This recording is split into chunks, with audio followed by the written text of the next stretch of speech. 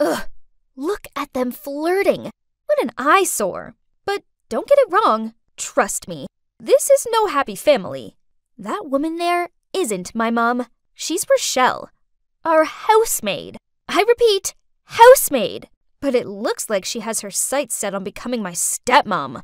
Ugh. We only hired her because after my mom passed away, Dad and I struggled to deal with our grief and our clumsiness as well, so tidying the house didn't take priority. I suppose Rochelle was an okay maid. Can't deny that she's a good cleaner, and her cooking is tasty. However, recently, I've noticed that she always cooks Dad's favorite meals. Also, they laugh and flirt and constantly give each other these gooey eyed looks. Yuck! Today, she even took out her handkerchief and attentively wiped my dad's sweaty forehead. Who does she think she is? She definitely wanted to hypnotize Dad. If she thought she'd have a slot in this house, she was totally wrong. I needed to do something about this. I had to talk to Dad right away. Dad, Mom didn't pass away that long ago, but it looks like you've already lined up her replacement. Didn't you hurt Mom enough by reconnecting with your ex right before she died? What do you mean, replacement? Brittany, you're being childish and unreasonable. I don't know, and I don't care. But I want Rochelle to get out of our house immediately. She's for sure trying to get something out of you. Okay, fine. If you insist. But make sure you find a new housemaid to replace her. Ugh. So it turns out that finding a new maid who's actually good is nearly impossible. Dozens of people came to try out, but none of them were as considerate as Rochelle. Okay, after all, we still needed a maid, so I reluctantly let Rochelle stay until I found someone new. This didn't mean I was going to let my annoyance for her slide. I decided that while I was stuck in the same house as her, I may as well play some tricks on her to let out my anger. When she decided to cook, again, the divine chicken soup that my dad loved so much, I kindly added a little salt to make it more savory. But somehow, my dad still praised her delicious food. He must just be flattering her, right? So I tried it for myself. What? How could she do that? It tasted amazing. Ugh. Another time, I copied this trick I saw on TikTok by sticking layers of food wrap on Rochelle's door, then acting like there was an emergency. Quick! The oven is making weird noises. I think something's burning. Rochelle quickly ran out of the room and I couldn't help but laugh my head off. Her face was really funny. She then gave me this bewildered look and smiled helplessly. Ugh, why did this woman never get mad? Okay then, let's step it up a notch. I decided to play the ultimate trick. Knowing that Rochelle was scared to death of cockroaches, I cut a cockroach shape out of paper and put it behind the fabric of her nightlight. That night, I was dozing off when I heard a screechy scream. Ah! Coming from Rochelle's room. Aha! Success! But she was so terrified that she fainted. Oops! Do you know what the most annoying thing is? Even after all the trouble I've caused her, Rochelle was still super sweet to me. She was always offering me cookies and asking me about my day and stuff. I felt like she was trying to play the role of a mother, and I didn't like that at all. She couldn't fool me. I knew she only put up with me to please my dad. Thanks to Rochelle, I could never be at ease, even in my own home. But recently, a very special person has come into my life and lit up my mood. It was totally by chance. That day, it had rained like crazy, so there were puddles everywhere. I was on my way home from the grocery store when a car drove whizzing by. I thought I was going to get a free bath, but then suddenly, an arm pulled me back and shielded me with his body. Just like in a romantic movie, standing there was a boy, soaking wet, asking if I was okay. Aw, he had totally swept me off my feet. We walked together for a while, and he told me his name's Chris, and he lives in the next neighborhood. That's it! I needed to find a way to impress Chris and also thank him for helping me. So, after some careful thinking, I decided to bake him a cake. I'd seen Rochelle bake before. It looked easy peasy. So I baked one and gave some to my best friend Sue to try. But she spat it out and said, Ew, gross. Hmm. I sadly sat in the kitchen, staring at my pathetic cake, and wondered where I'd done wrong. That's when Rochelle stepped into the room. But to my surprise, instead of laughing at me, she patted me on the shoulder. Come here. I'll teach you how to cook. Rochelle was a good cook, so I'd be stupid not to learn from her. This doesn't mean I like her, though. I just want to win my crush's heart. So after that, each day after school, Rochelle gave me a cooking lesson.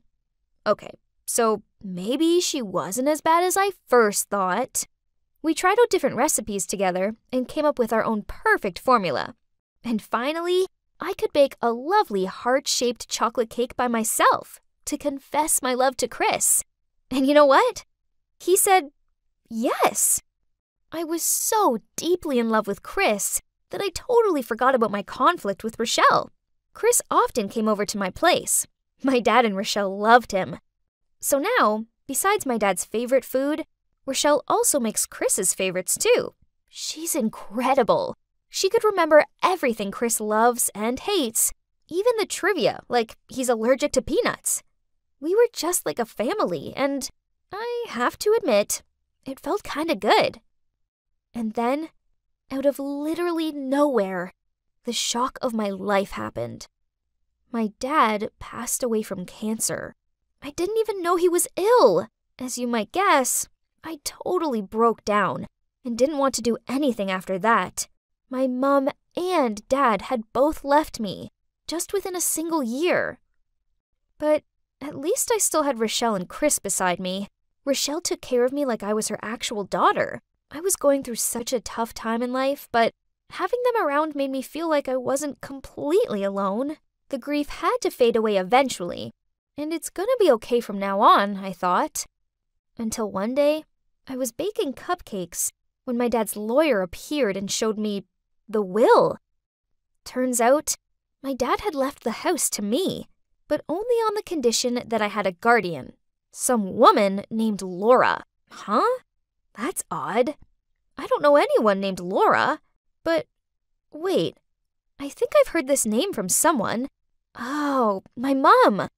When she was in her last days, Mom once told me that my dad had been talking to his ex again, and her name was Laura. Could it be her? Did he seriously make his ex my guardian? Unbelievable! I had to get to the bottom of this. But how could I find this mystery Laura? I had no family. Well, besides my Uncle Colin, who was living in France. So I contacted him and told him everything. He flew back at once, and although I hadn't seen him in years, I couldn't hold back my emotions and ended up sobbing on his shoulder. And then he told me the horrible truth. Laura is none other than the woman who had just walked through the door. It was Rochelle, the woman who had been living in my house.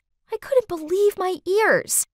What on earth is going on? So, Rochelle moving in was no coincidence? My dad sneakily snuck her in as a maid so they could be together? My pain and disappointment were overwhelming but I had to calm down so I could think rationally. I knew I needed to be smart and outplay Rochelle at her own game.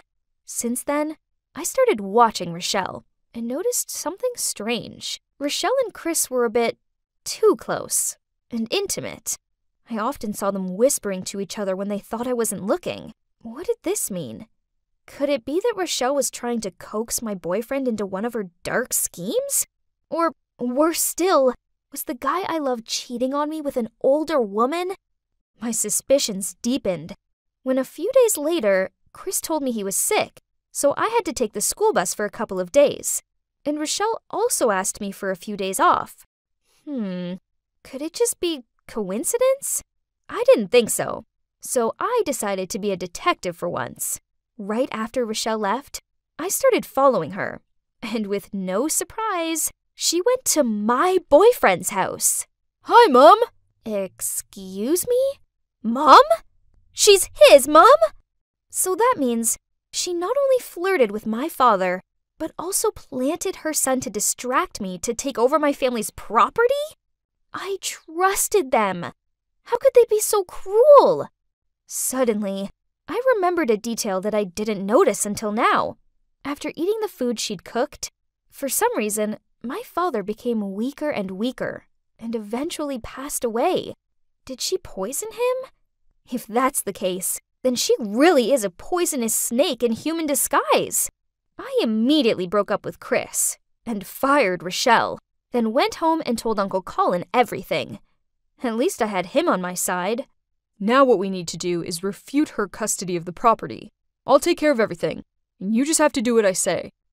Then, Uncle Colin helped me prepare a lawsuit against Rochelle and her son for fraud. Those two will pay the price for what they did to my father and me. Oh, but the thing is, now Rochelle didn't live here, it felt so empty. I was so angry with her, but I also found myself missing her too. I loved and trusted her. And Chris too.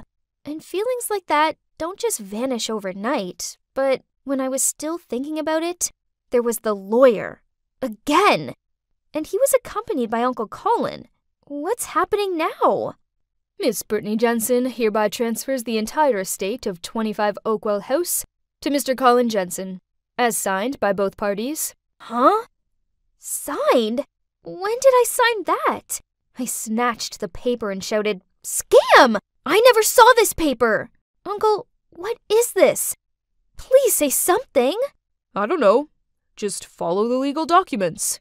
No, no, no, no! So Uncle Colin was just pretending to care when really he just wanted to trick me into signing over my house? Oh God. Thinking about it, it must have been that day. The day where he gave me a bunch of papers to sign, claiming that they were about me suing Rochelle and Chris. OMG, the lying con! At the time, I'd been so upset that I only skimmed the first page without looking at the following ones. I was too careless. From tomorrow, Miss Brittany Jensen will have to return all assets to Mr. Colin Jensen. You have 24 hours to prepare. I tried shouting at my uncle, and then I tried reasoning with him, but he didn't care. He just smirked at me and told me that he was just taking what was rightfully his. Ugh, what a vile man. So now I have nothing left. I was kicked out of my own house and deceived by my own uncle. I don't know why I accidentally passed Chris's house just as he opened the door to take a delivery, and our eyes met. I turned and started to run away, but Chris caught up with me and grabbed my hand. Even after the awful way I treated them both, Rochelle and Chris still invited me inside and made me dinner. I ashamedly told them what happened. Then Rochelle told me everything. It turns out that my father found out that he had cancer a while ago, but he didn't tell me because he saw how upset I was after losing Mom, and he was afraid I would worry too much. Rochelle saw his health deteriorating and figured out what was wrong, so she volunteered to take care of him because she still cared for him. But as a friend, nothing more. As for the will, my dad understood Uncle Colin all too well and didn't trust him, so he gave custody to Rochelle. But unexpectedly, in the end, I still stupidly fell into his trap. As for Chris, I really didn't know you two knew each other until you brought him home. But at that time, I didn't want to confess I was his mother and affect your relationship. I'm sorry, Brittany. Britt, please stay here with me and Mom. We'll get through this tough time together, okay? That's right, darling. No matter what, we'll never abandon you. I. I. I'm sorry. I misunderstood you both.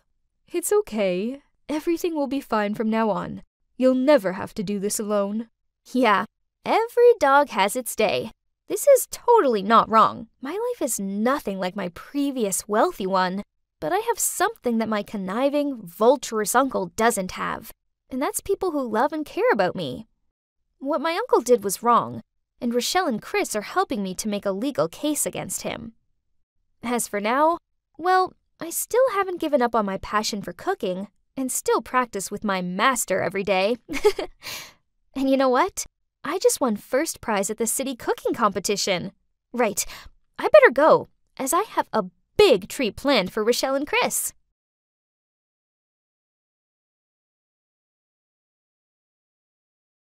Hi, Melanie here, and I'm hanging on the edge of my seat to hear the results of this year's science fair. I know I might not look like a typical studious girl, but I'm definitely serious about school. Ooh, one second. The winner of West High Science Fair 2023 is Harry Silver. That means the runner up is Melanie D'Angelo. Congratulations to you both. Please come onto the stage for your awards. Man, I can't believe I'm second to him again. We'd been literally swapping first and second place on every leaderboard since we were kids. Ugh, so unfair. Look at him. All he did was partying and pulling silly pranks, yet he's still on the honor roll, while I had to study day and night to maintain my straight A's. Mom's taking quite long. What's that commotion over there? This calls for a celebration. What do you guys think? Olive Garden? Yes. Geez, can you keep it down just a smidge? Come to think of it, people like Harry just have it all, while I only have mom by my side. Oh, she came just in time.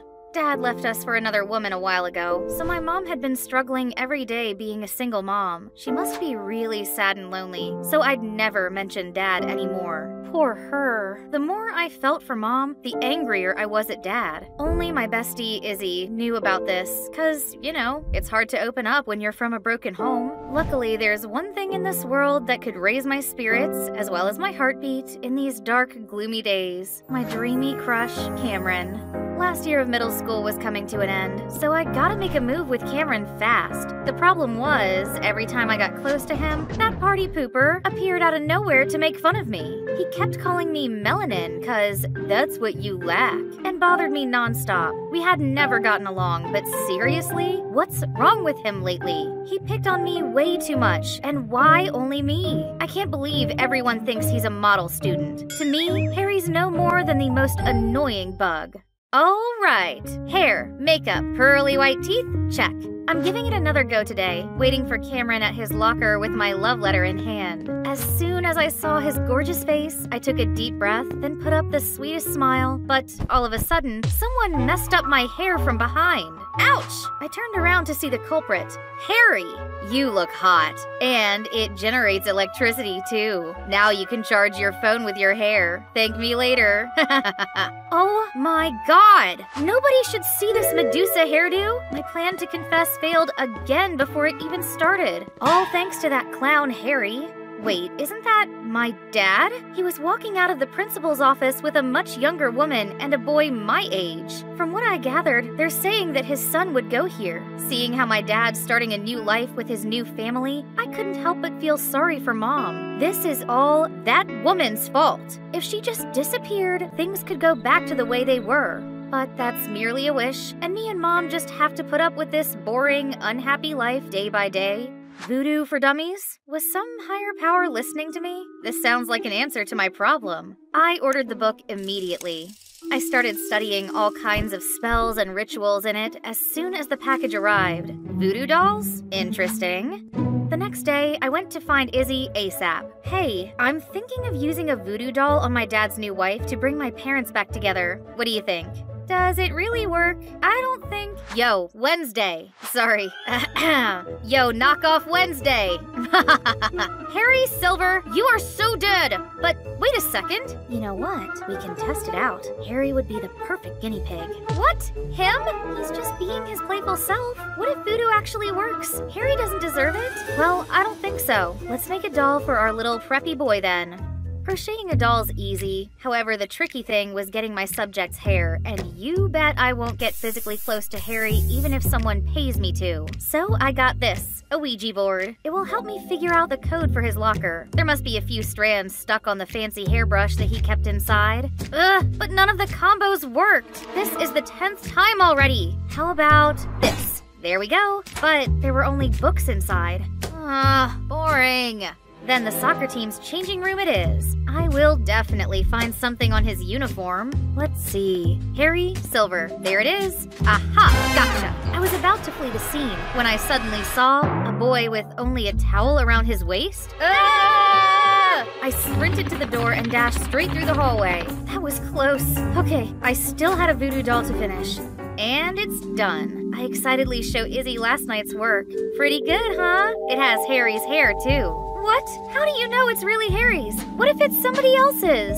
Well, I. Hey, did you hear some perv with panda eyes was creeping around the boys' changing room yesterday? Go away. But don't worry, starting today, we'll take turns guarding the entrance to catch them. Oh, what a coincidence. You fit the culprit's description perfectly, Melanin. But you're definitely not that pervy, are you? I was so mad I felt smoke coming out of my ears. I wish my gaze could kill that brat. Mel, you're squeezing the doll's arm. It's gonna come off. Whoops, my bad. Next time I saw Harry, he had bandages all over his right arm. Hang on, did I do that? Feeling guilty and curious, I approached him. Hey, what's wrong with your arm? It's been in pain since yesterday for no reason. My doctor said nothing's wrong, but I kept feeling like someone's squeezing it really hard. Ugh, there it goes again. Oh, spooky. It means the doll is truly magical. I immediately came running to tell Izzy, and of course, she was shocked too. But hold up. Nosy Artie? How long has he been standing here? This guy clearly had heard everything. He kept reaching for my doll. No way. He'd tell the whole school about it. Then suddenly, Harry sat down next to me. Melanie, my arm hurts. Feed me. Uh, what's he pulling now? Can't he see I'm in the middle of something? Right at that moment, Artie snatched my doll. Leave it to me. No, Artie, no! Not with milk in his mouth. Oops, sorry, I felt so nauseous all of a sudden. That was more than enough to make all of us firm believers. But maybe I should stop. I do feel guilty for dragging Harry into this. That afternoon, when I was about to throw the doll in the trash can, I saw Cameron walk towards me. Did Christmas come early? Hey, I was wondering if you're. Yes, I've been waiting so long for this day. An occultist? What? I mean, Artie was going off about a voodoo doll of yours, so I thought you might know a thing or two about love spells. But if that's not true, I'm sorry. Um, what do you need a love spell for? Then he revealed he wanted to put a spell on his crush, Regina. So all this time, I had no chance with him at all? But hey, a love spell sounds like a brilliant idea. It could ensure my parents' reunion too. Sure thing, but I'll need your hair as well as Regina's. Also, some of your personal items for the spell to work. Obviously, I'll use his stuff, but in a love spell for me. And you know what I gave him? It's all junk with some of my poodle's fur. a few days later, I found a gift box in my locker from Cameron. My spell worked! I'm about to have a boyfriend and reunite my family. But before I could carry out that long awaited plan, Artie came to me with a difficult request making a voodoo doll of Brad, some transfer student who already established himself as a vicious tough guy. That sounds dangerous, and I already promised myself not to use voodoo anymore. Don't believe me? See for yourself. Then I followed him and witnessed another student being picked on by a much bigger guy. Hey, isn't he Dad's stepson? Okay, this Brad guy deserves it, so I agreed to help Artie. The next day, I approached Brad after class where he usually messed with other students. I managed to sneak up behind him and get one strand of hair. Oh no, busted! I quickly put the hair in the doll. This better work. Come on! Why isn't it working? And why now? Pesky little thing. Stop! I know those voices. Thank goodness. Touch her and you'll regret it. Yeah, we'll, uh, we'll, we'll call the police. Brad just scoffed and left. What are you both doing here? And Harry, I thought your arm hurt. Then, Harry and Izzy finally told me that voodoo had never been effective. Izzy knew that Harry only picked on me because he liked me? That's why she tried to stop me from using voodoo on him. But she couldn't, so she then told Harry everything. To be honest, I found your attempts quite amusing, so I acted like they were successful to humor you and myself. I was gonna stop though, but when you were being sweet to me and asked about my arm, I decided to keep it up. Oh my god. My bestie had been friends with my mortal enemy all along. Behind my back? Am I a joke to you? Why are you here? To make fun of me even more than you already did? Because I got worried when I heard you're going after Brad. Melanie, you're the smartest girl in school. I don't understand why you're doing all these dumb gimmicks. Yeah, you've been acting strange lately. Since when are you superstitious? What other choice do I have? Voodoo or at whatever cost? I need to get my parents back together, and that punk Brad is my dad's stepson. He deserves whatever comes to him for ruining my life. And you know what else? Both of you get out of my sight for good! Then I stormed off. After that day, I no longer talked to Izzy, and Harry's relentless pestering finally stopped. But honestly, it felt a bit empty without them, especially with the upcoming school field trip. Of course, I'm still coming. Who needs them anyway? This is the chance for Cameron and I to be closer now that we're talking on the regs. It's gonna be the best trip ever.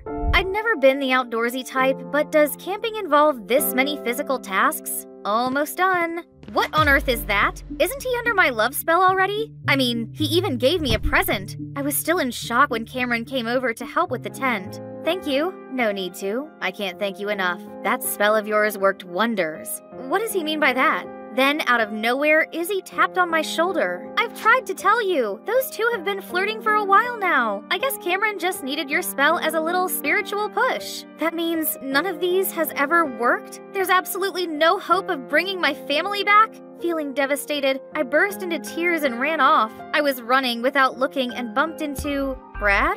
Melanie, right? Just who I want to see. Or should I say, my dear stepsister? Your mama sent you here? Let go of me and piss off! I wonder how pathetic she had to be to have her husband walk out on her. if this was any other time, I would have fought back. But after all that just happened, I've lost all of my will to do anything now. Out of the blue, I saw someone charge at Brad and land a brutal blow on his face. I said I'd make you regret touching her. I had to stop Harry before he messed Brad's face up beyond recognition. It's time we got out of here.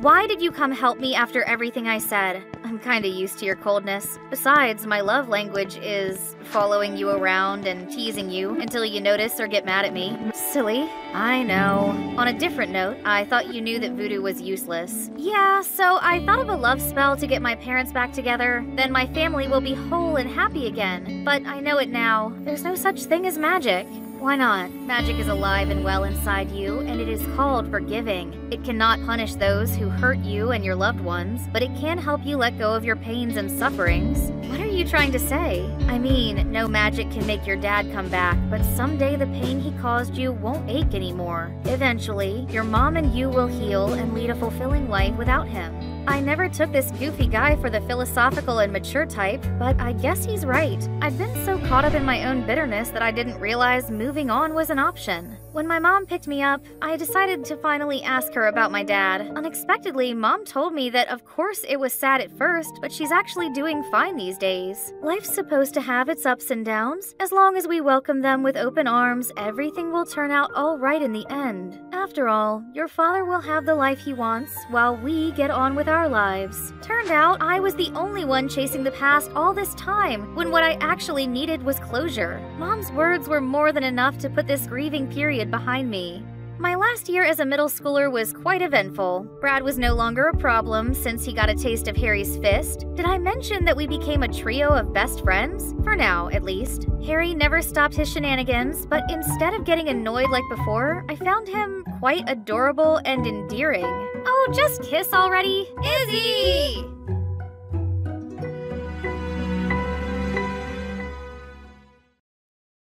Hey, I'm Nia. And I've always been a bad girl. I rock the rules. I don't care what people think about my own life and just do whatever I want. You only live once, and I don't waste a second to please others. I love tattoos and have plenty of them all over my body. I got my first tattoo when I was 16. I saved up my birthday money for it and took my older sister's ID when she wasn't looking. It was a cute little purple heart behind my right ear. Also, purple's my favorite color, which made me love it even more. Over the next few years, my tattoo collection grew. I got a part time job alongside school and then college to pay for them. I love all of my tattoos, as they each have a special meaning. The tribal symbol on my shoulder blade shows that I am strong. The pretty tree and colorful leaf design on my thigh represent both my growth as a person and that fall is my favorite season. The Tinkerbell tattoo on my neck represents my small but fierce personality, and the Pegasus on my arm reminds me that I can fly through tough times. I have more, 18 in fact, all with their own unique meanings to me, but I'll be here all day if I list them all. My parents hate my tattoos, which only makes me show them off more. Whenever there's a family event, I wear an outfit that shows off the majority of my tattoos. My mom usually rolls her eyes at this, and my dad tells me, You could have worn a cardigan. Seriously? A cardigan? I'm not a granny. One day, I came to my tattoo artist for a small tattoo on my wrist and saw a guy with completely black eyeballs. I just loved it and longed to be cool like him. The tattooist caught me looking and told me about it. Eyeball tattoos are also known as sclera tattoos, and they're done by injecting color under the conjunctiva, which is the clear membrane covering the front of the eye, and over the whites of the eye. That moment, I knew that I had to have it for my purple tattoo collection, but the cost of it was $1,000 per eye, so I had some serious saving up to do. I took on as many extra hours at work as I could, and I also did a few modeling jobs for a fashion company that my friend worked for. I didn't bother telling my family about my sclera tattoo plans as I knew they'd freak out. I mentioned it to a few of my friends. One thought it was cool, while the other one was worried about the risks. She was so concerned that she bought me some funky colored contact lenses. I started wearing them all the time. I loved the reaction people gave me so much that it only made my longing to get my eyes tattooed increase. When my sclera tattoo day came, I was scared, but I was also excited. My tattooist reminded me that this was for life and that there was no going back. I told him to go for it. It was the most uncomfortable feeling in the world. I honestly thought I was going to throw up due to the pain. It felt like shards of glass were being rubbed into my eye. That pain happened four times in each eye, but it wasn't the worst part. I was so stressed during the whole time because if I moved my eyeballs just an inch, the sclera membrane would tear and the eye could be gone forever. Afterwards, my eyes were sore and puffy, but I was happy with the results. The next day, my eyes were swollen shut. I looked like I'd been stung by a swarm of angry wasps. Then, purple dye began streaming down my face, so that I was literally crying purple tears. I contacted my tattooist in a panic, and he told me that it was normal and it would stop after a few days. Over the next few days, the swelling went down, but sometimes it still really hurt inside. The best way to describe the pain is it feels the same as a throbbing headache, but in my eyes. I put up with the pain as the results were striking. I was so unique and elf like. Naturally, my parents completely freaked out. Sometimes, when my mom looks at me, she starts sobbing. She's melodramatic, and there's no need for it. I loved going to concerts and tattoo conventions with my friends, as people always stopped me and complimented my eyes. I stood out from the crowd, and I loved it. A lot of people ask if it's contacts, that's the number one question. It kind of bothers me, actually. They'll say, Oh, I love your contacts. And I'm like, They're not contacts. I went through far too much pain and spent way too much money for idiots to confuse them for contacts. After a week, my one eye was fine, but my other eye started leaking purple all the time. I'd come home with purple ink stained down my face. I had a permanent aching in that eye, and it was continuously sore and itchy. It got so bad that I'd even tear out blood. It happened in public a few times. One little kid saw it and cried to his mom that I was a monster. My tattooist kept telling me it was fine. Stupidly, I trusted him, as he'd done most of my other tattoos. Then, two weeks went by. One morning, I woke up and couldn't see a thing through that swollen eye. It was completely shut. I rushed to the hospital in panic, where I received steroid drops to decrease swelling, but it didn't work. I still couldn't be able to see anything out of that eye. It turns out that I shouldn't have trusted my tattooist, as while he was injecting color between the two layers inside of my eye, he injected the undiluted dye way too deep into my one eye. This caused the eye to swell and the ink to seep out. His bad, unprofessional tattooing has resulted in several trips to the hospital with hemorrhage and sclera tearing. I am now permanently blind in my one eye. My mom still sobs when she sees me. People still cross the street to avoid me, and I've missed so much college with my hospital visits that it's likely I'll have to retake the year. I was foolish to rush into getting my eyes tattooed without thinking through the possible risks. I naively told myself that nothing bad would ever happen to me, but something bad did. Now, when I look in the mirror, I find the girl staring back at me disgusting. My need to look unique and different cost me my sight in one eye and my cute, natural looks. I made the wrong decision. And now I'll have to live with it. I now know that I didn't need to get eye tattoos to stand out. I was already unique. I just didn't realize it. We're all special and we're all different from each other. Please embrace who you are and don't take dangerous risks to change the way the world sees you. Eh, it's been a long time since I was able to enjoy myself at a party. It sure felt good. Now just one thing left to make this night even more perfect. I'm going to make my crush mine. There he is, Jad. OMG. Did he just glance at me? I could feel my heart flutter. As I immersed myself in a world with only Jad and me, the face of Harry the Metal Mouth suddenly popped up from nowhere. It's time for bed, mommy's little princess. What on earth was he saying? And why was everyone running toward the window like that? I jostled into the crowd and I peeked down. Oh, for heaven's sake! The beyond cringy woman standing there holding the speakerphone was none other than my mom! Janice, it's 10 p.m. You know it's your turn to stay with me tonight. I won't be able to sleep without you. God, is there any way for me to just evaporate right here, right now? This is too embarrassing. But wait, how did she know I was here? I immediately looked over at Christine. It must be her again. Everyone knew she had a huge crush on Jad too, and would do anything to get him. She's definitely the snitch. it's so frustrating. Anyway, let me fill you in on the situation. This crazy woman is my mom, who gave birth to not only me, but also my older sister Patty and my big brother Will. I guess we all turned out alright, but this wasn't down to mom. She didn't raise us, our nanny Randy did. You see, mom used to be an actress. She was always busy, busy, busy with her work and her numerous flings, which resulted in each of us three having a different father. Luckily, we had Randy to take care of us, so I never felt like I was missing out on anything. On the contrary, having to see mom all day is a problem for me. A month ago, mom suddenly decided to retire and move in with me and my siblings. And who knew that an out of date star could be such a childish, clingy nightmare? Ugh! She didn't like being alone, so she insisted Patty and I had to take turns sleeping next to her. Then, she forced us to accompany her to the mall and be her luggage gophers and talk to her while she went for the zillionth beauty treatment of the week.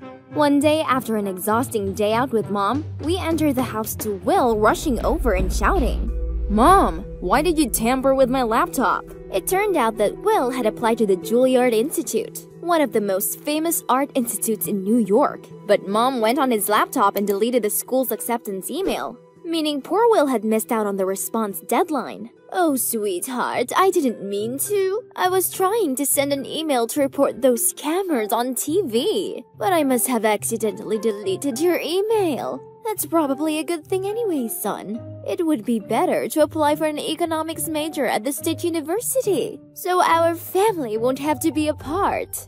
Do you know how hard it was to get in there? Ugh, I can't do this right now. I'm done.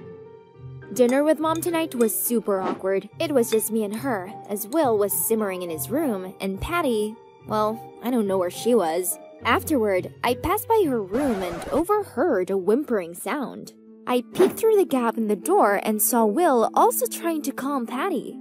James is now insisting on breaking up with me. If mom hadn't come to my company and bragged that her daughter was the manager's girlfriend, the story wouldn't have reached my boss and neither of us would be in this mess. I know, right? Mom never cared about us before, but now she thinks she can just waltz back into our lives and do whatever she wants? I've had enough of this. We're both over 18 now. Let's just move out. Oh, no, no, no, no. No! Look at their determined eyes. I couldn't let this happen. What about me? Please don't go. I'm not 18 yet. Don't leave me alone with mom. I beg you. Both of them gasped when they saw me. Then, after a moment of silence, Will spoke up. Okay, we won't go. But at least we need to get things back to normal. I mean, back to just the three of us and Nanny Randy living in this house. And so, Will suggested we pull a bunch of pranks that would annoy Mom so much she'd end up leaving. But they were all busy with their studies and work, so they left it to me to carry out the pranks. Okay then, I'm ready. You can see how my mom was addicted to cola from the pile of empty cans over there. She often did midnight dashes to the convenience store when she ran out. So, my first plan was to make all the cola she's just bought disappear time after time. Frustrated much? However, she was strangely calm and acted like it's no big deal at all, and even bought a drinking helmet to make sure her Coke was always with her. Attempt failed. Move on to the second plan. Hide the Nintendo Switch. Why, you ask? Every night, mom made us play on that thing with her, and honestly speaking, she was the worst player ever, but she wouldn't accept it, and kept making us play those boring games with her until she won. Now, no Switch, no troubles, right? Wrong! As having nothing to do, she came up with much more dumb things to ask us to do with her. From teaching her to cook, gardening, and even doing yoga with her. Having mom around is like caring for a toddler. She needs constant care and attention. It's tiring. I can't bear it anymore. You clearly didn't carry out the tricks properly. You're making the situation even worse, don't you see? Looks like we'll have to get the job done ourselves. Oh yeah? Fine. You guys do better then. And so they carried on by using mom's ultimate fear of spiders. She's terrified of them. Even the teeny tiny ones were enough to cause her to climb onto a chair in fright until one of us removed it. So, Patty asked me to buy fake spiders online. Then she hid them all over our house. But this time, without panicking, she even picked it up and tossed it in our direction, which freaked us out instead. So, Will decided it was his turn to take some action. He planned that one evening I would distract Randy, and in the meantime, Will would throw a feast at home, then swiftly drag all his friends out, leaving a huge mess for Mom. Despite never lifting a finger on cleaning, Mom is actually a clean person, so it would definitely drive her crazy. But nope, once again, it didn't go as planned when Will and Patty came home to find Randy there, helping Mom clean up the whole mess. Of course, I was the one who got the blame. Again. Janice, you told us you were able to get Randy away from the house for a day, didn't you? I I did ask her to take me to dad's, but like midway there, she realized she forgot her phone and insisted on going back. Oh, stop with all the excuses. You're so useless and always do things by halves. The spider trick must have also failed because you bought some cheap ones that look too obviously fake. Yeah, perhaps you've been bought off by mom, aren't you? Spill it. Ugh, are they seriously accusing me of betrayal right now? Enough! If you're that good, then do it all yourself. I stormed off without any extra words to them. The next morning, while watching Netflix, I heard Patty and Will arguing. It turned out Patty let her boyfriend use her car and he forgot to come pick her up to work. So she's trying to borrow Will's bike so she wouldn't be late for a meeting. But Will wouldn't let her because he had an important dance workshop to attend. Don't your dumb class just always repeat the same wriggle moves? Take the bus instead. You won't die if you're a little late. It's not my fault your gold digging boyfriend forgot to pick you up in your own freaking car. You should have broken up with a jerk like him ages ago. They continued quarreling for a while until I saw Will launch his way down from upstairs shouting. Fine, just take it. Has anyone ever been able to stop you from anything, Bossy Patty? And he headed straight outside to his bike, then came back after a bit, probably to get some air to calm down. Ugh, would these two give it a rest? How are we meant to figure out a way to win against Mom when they couldn't even go a day without bickering? Right then, Mom walked in and told me she was going to bake the cake Patty had shown her how to do yesterday. Oops, but I forgot to buy eggs. I wonder if Will needs to use the bike today. I'll borrow it just for a bit. Ha! Great! If mom took the bike, then both of my annoying siblings would have to stop squabbling about it, right? Yes, Mom, take it. Will said he was gonna take the bus today. It'll be faster to cycle to the grocery store anyway. Then Mom hopped on the bike and shakily rode off. After a while, Will and Patty went out to the yard, and of course, the bike was no longer there. After I told them that mom had already taken the bike, Will stopped dead.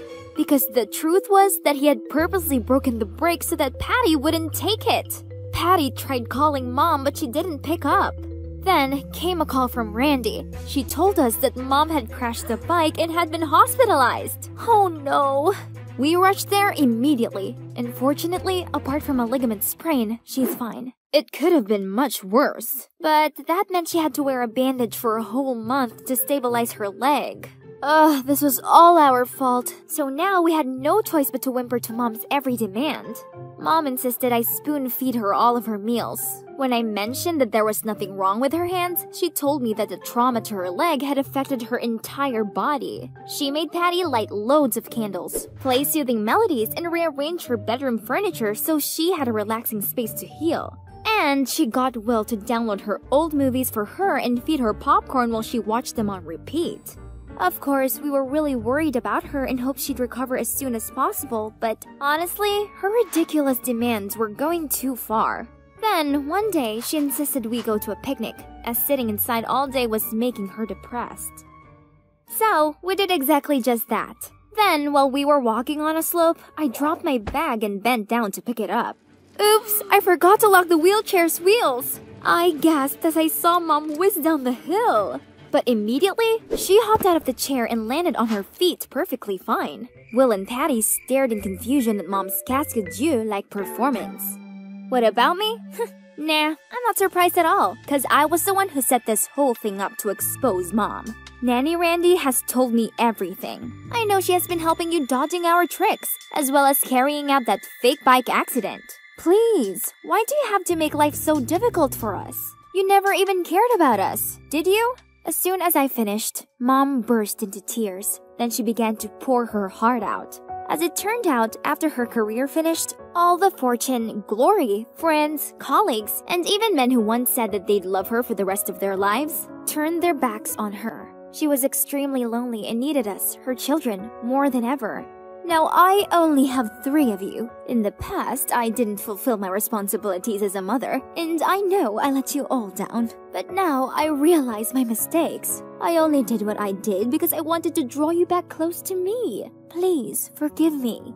Give her a chance, kids. Although your mother's actions were somewhat misjudged, she only did them because she genuinely cares about you. Janice, she worried your partying was causing you to neglect your studies. Well, she didn't want your dancing dreams leading to showbiz nightmares like hers. And Patty, trust your mom, she was right this time.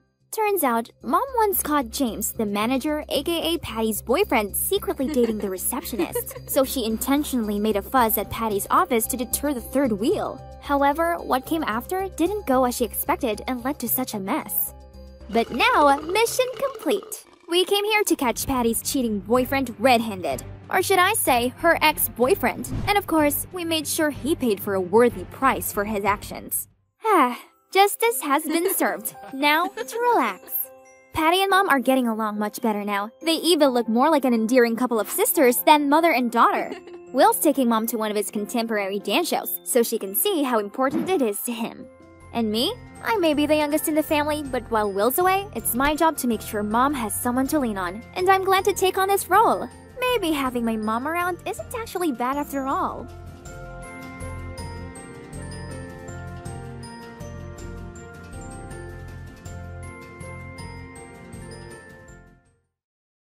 Hi, my name's Laura and I'm 14 years old. When I was a kid, I went through so much traumatic stuff that it has left me permanently scarred in the craziest way. I was three years old when my dad died from a heart attack. My mom really couldn't cope after this. She started drinking and smoking a lot. So my grandparents stepped in and decided to take care of me for a couple of years. But then three years later, my mom got diagnosed with cancer and died. It was a complete nightmare for me. But luckily, my grandparents were there for me. I used to secretly cry myself to sleep every night, and then during the day, I'd try to smile and pretend to be happy, as not to worry my grandparents. It was such a tough time for me. Fast forward four years, and I started getting these weird blackouts every day. At first, I thought it was because of school or something, so I didn't really pay attention to it. But then, one day, I was at my best friend Maria's house for a sleepover, and it happened. I walked into her room, and suddenly, I blacked out. When I woke up the next morning, Maria was staring at me and looked kind of scared. She said I'd acted like a completely different person the night before. I couldn't remember anything, and felt so embarrassed. So I told her I needed to go home and rushed out of there. When I got home, I googled blackout and memory loss, and suddenly a page popped up saying DID symptoms. So I clicked on it to see what it said. It said things like a person may experience blackouts and act differently. so I ran downstairs to tell my grandparents about it. They weren't surprised and said they'd noticed I'd acted a bit strange sometimes, so they called the hospital to arrange an appointment for the following day. Maria texted me to ask if I was okay, so I asked her to tell me about the night before. She said she'd asked me if I wanted to eat pizza for dinner, and I told her that I'm not hungry, which is weird as I'm pretty much always hungry. Then she said I just sat on her bed texting someone, and that I looked like a robot. I wasn't smiling or laughing or anything. It was kind of creepy, so she left the room for a bit. But when she came back, I was playing with her dog, looking all playful and hyper. All that really freaked her out. The next day, my grandparents took me to the hospital to get some tests done. I was feeling so scared by this point. I had to get an MRI scan on my head, and afterwards, the doctor walked me up to my grandparents and started whispering to them. I couldn't hear anything the doctor was saying, but the next moment, my grandma was crying. I felt so sad. I'd never seen her cry before, and I couldn't stand it. The doctor turned to me and explained that I have something called dissociative identity disorder, DID. Basically, this means I have multiple personalities, and in my case, I have four. I've even given them names Emily, Lily, Anna, and of course myself, Laura. The doctor tried to ask me about when this could have started and what could have been the cause of it, and it seems it had to be because of my parents passing away. That's the most traumatic memory I could think of. It's been a while ever since I was diagnosed. It has gotten my life much more complicated, but I've kind of worked my way around it. I once asked my grandma to help me figure out what these personalities were like, as every time it happened, I blacked out and couldn't remember anything. She had helped me ask the personalities the same questions and noted down things that happened. So, visual wise, our styles are quite similar. We all like wearing jeans and crop tops, except for Lily. She prefers leggings and an oversized hoodie. The one thing about us that's really different, and by looking at this, you will be able to tell us apart, is how we do our hair. I like mine half up, half down. Emily likes hers down. Lily likes hers in a ponytail, and Anna likes hers in a messy bun. We also found out that Emily likes pop music. Her favorite hobby is dancing, and she hates sweets. Any ideal day to her would be sitting by the window with her cat while sipping her tea.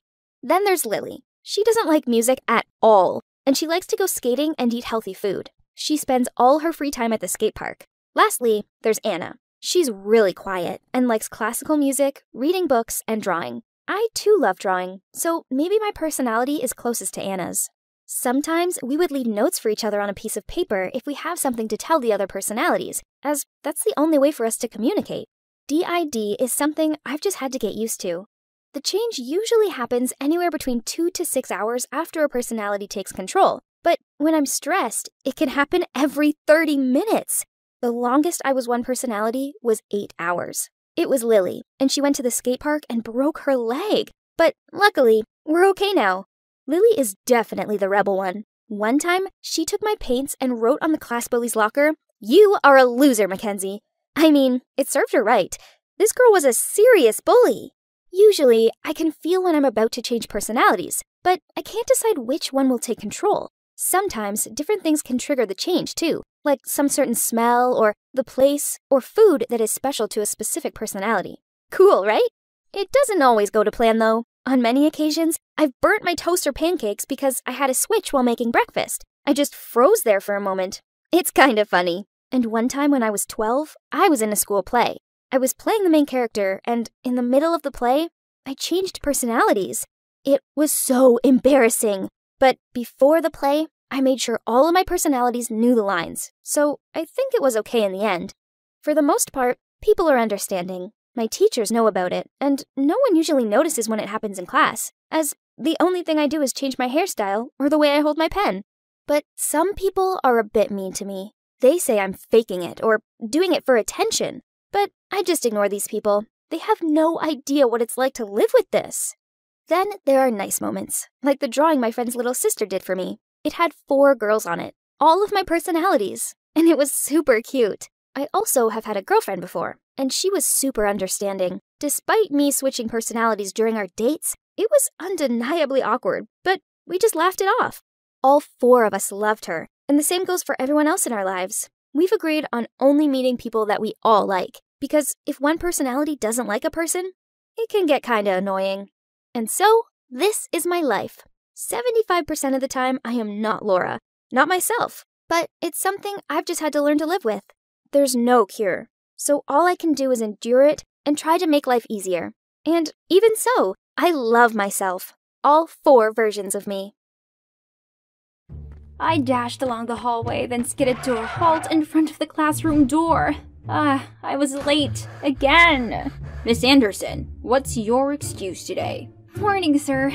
I'm sorry, but my spaniel hid my shoes, then I tripped over a package by my front door, then my heap of a junk car wouldn't start, and that's enough. Good God. Please sit down. Ashley already took attendance.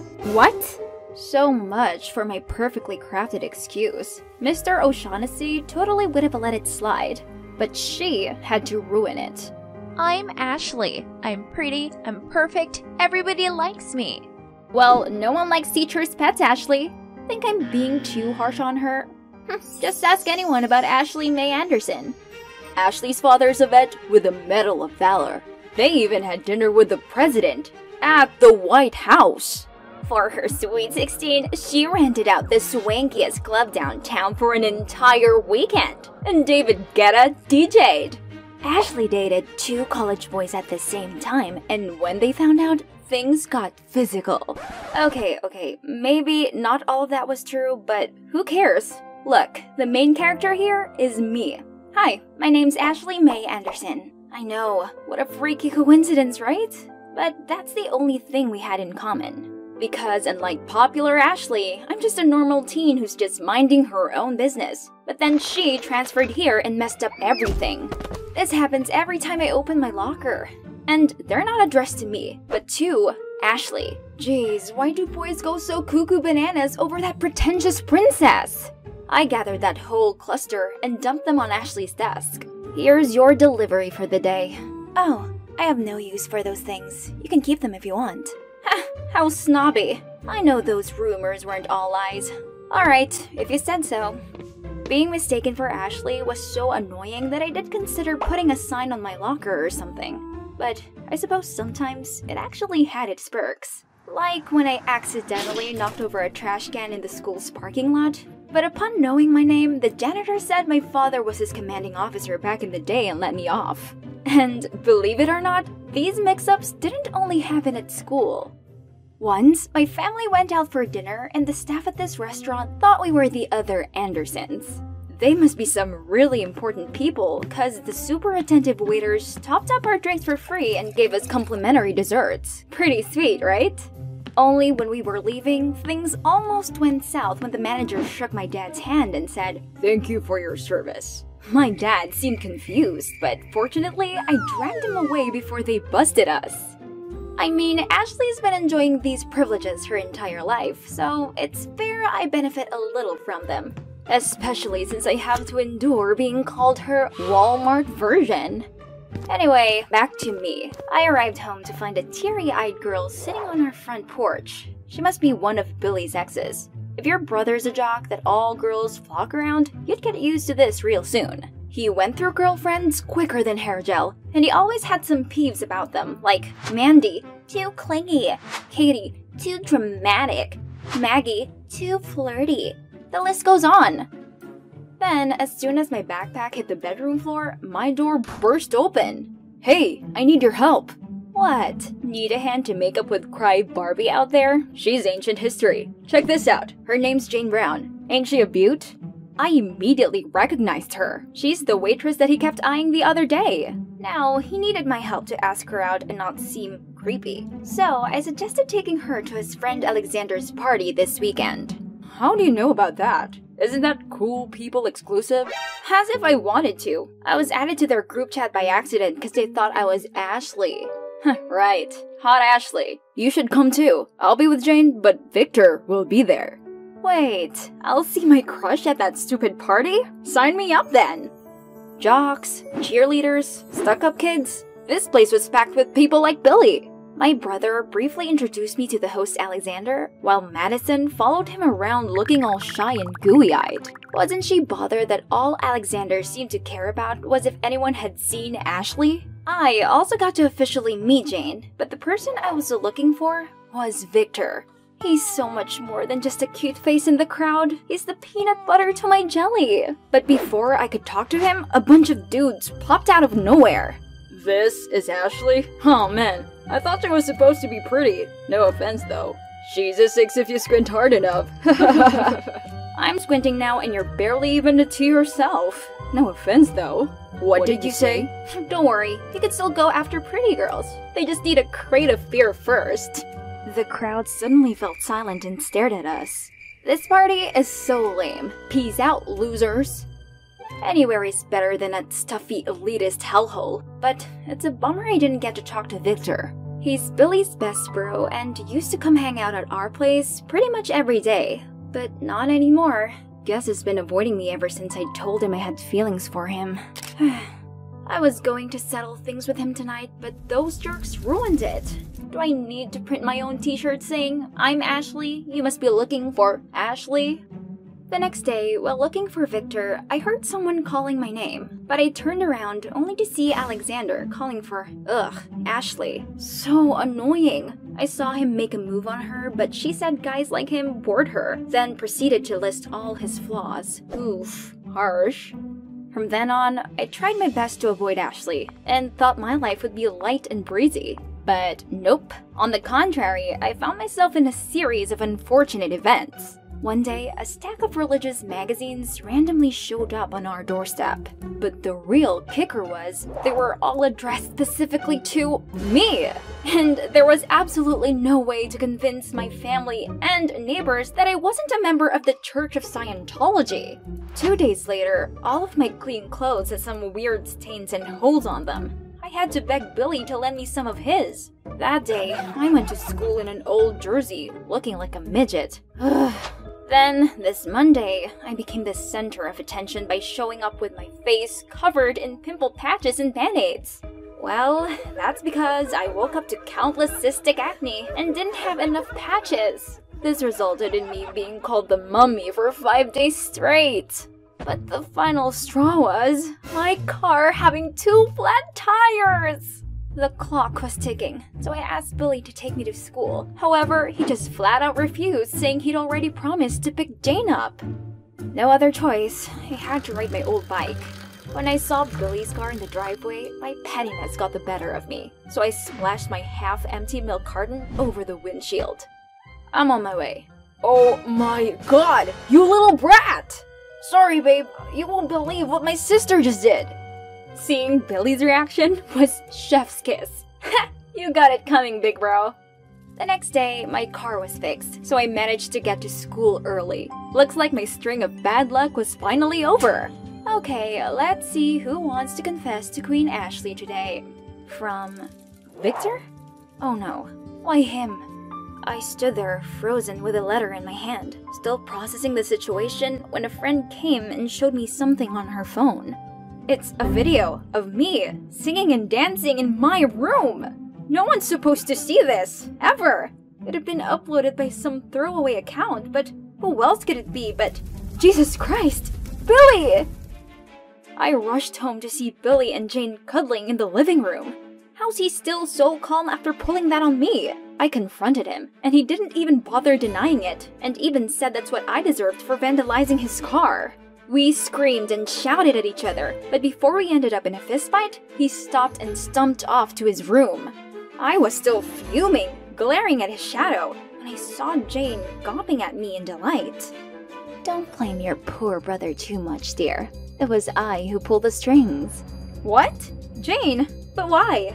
We'd barely even interacted. Then she went on about all of my mishaps lately were her doings. Yep, my so called bad luck, it had been Jane all along. That's for stealing Alexander from my sister. He's her first love. Do you know how heartbroken Zoe has been? Wait, Zoe? Who? And why on earth would I choose to mingle with that playboy Alex? Kudos to this girl for thinking I could ever steal someone's boyfriend. Hello, I'm still struggling with my lifelong crush over here. I tried to tell her she made a mistake, but she wouldn't listen. Stop denying it. I know it's you. You're East High's Ashley with a vet dad. That checked all the boxes already. Hold up. There's another Ashley Mae Anderson in our school. She's Ashley with EY, I'm Ashley, E I G H. Her dad is a war veteran. My father is a veterinarian. Oh snap. Good lord. She devised this intricate plan, approached Billy just to make it work, and was successful for the most part. Well, apart from having the wrong person. Just amazing. Jane apologized and promised to take down the video. However, she wanted me to help her take revenge on Ashley in return. I didn't want to get involved, but I also never wanted to be on her bad side again, so I reluctantly agreed. But if you think about it, Jane's story didn't quite add up. Ashley seemed to have a holier than thou attitude and had dozens of admirers waiting in line. Why would she get in between them? Not to mention, Alexander's a notorious player who Ashley already ruthlessly rejected. I believe there's more to this. As expected, thanks to that video, my school life was now even more awkward than usual. But it didn't matter, as I was too preoccupied with Operation Ashley. Today's mission approach her after cheerleading practice. I stood in the corner behind the bleacher, waiting for my chance. But before I showed myself, I saw Madison march over, say something to Ashley, then storm off. After that, Ashley started sobbing? I didn't know what happened, but I felt bad for her. So I tried comforting her, but she kept brushing me off. Look, you can keep the Ice Queen act all you want, but I know you have feelings too. I thought you might have something else you want to share with me, not just the name. And it was like I pulled a lever that let out all of her bottled up emotions, and we had a heart to heart all afternoon. Just as I thought, things weren't what they seemed. We'd better talk this through with one another, so I set up a meeting at a cafe in the South Coast Plaza, as they wouldn't dare to cause a scene in public, right? Anyway, Ashley clarified that Alexander and her weren't a thing, while assuring Zoe that she deserved a guy much better than him. But Alex was really sweet to me. He gave me this present on our one month anniversary. Did he say it's his grandmother's? Yeah, he tried giving me an identical one on my birthday.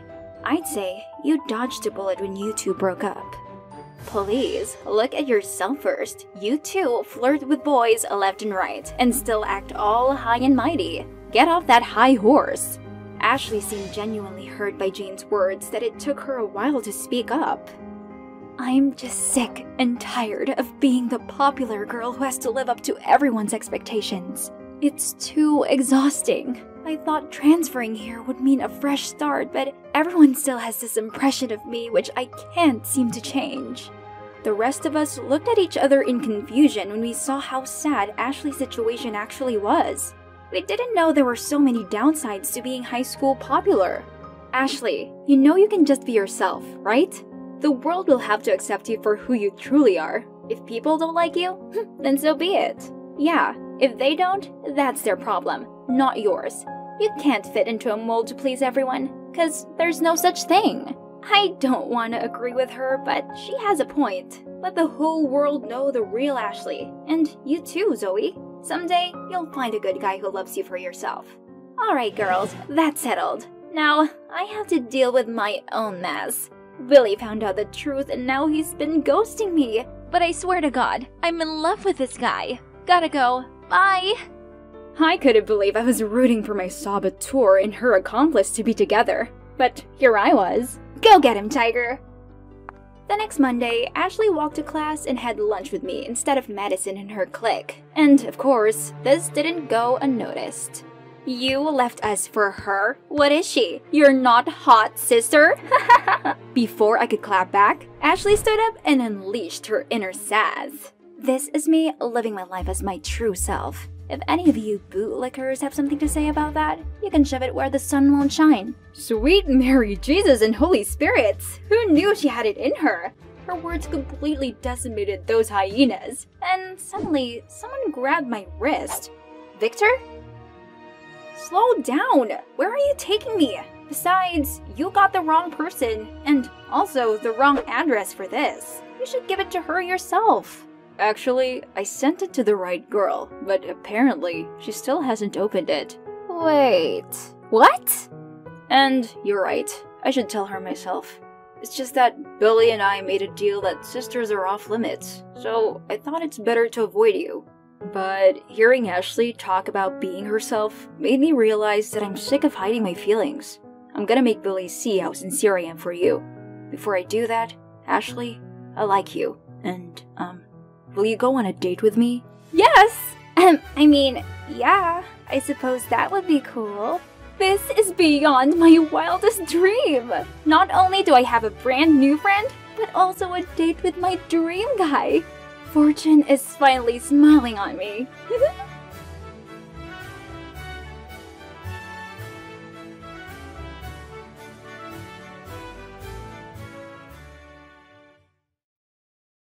Admit it. Come on. You took my necklace, didn't you? Mindy looked at us and shook her head. She was sweating.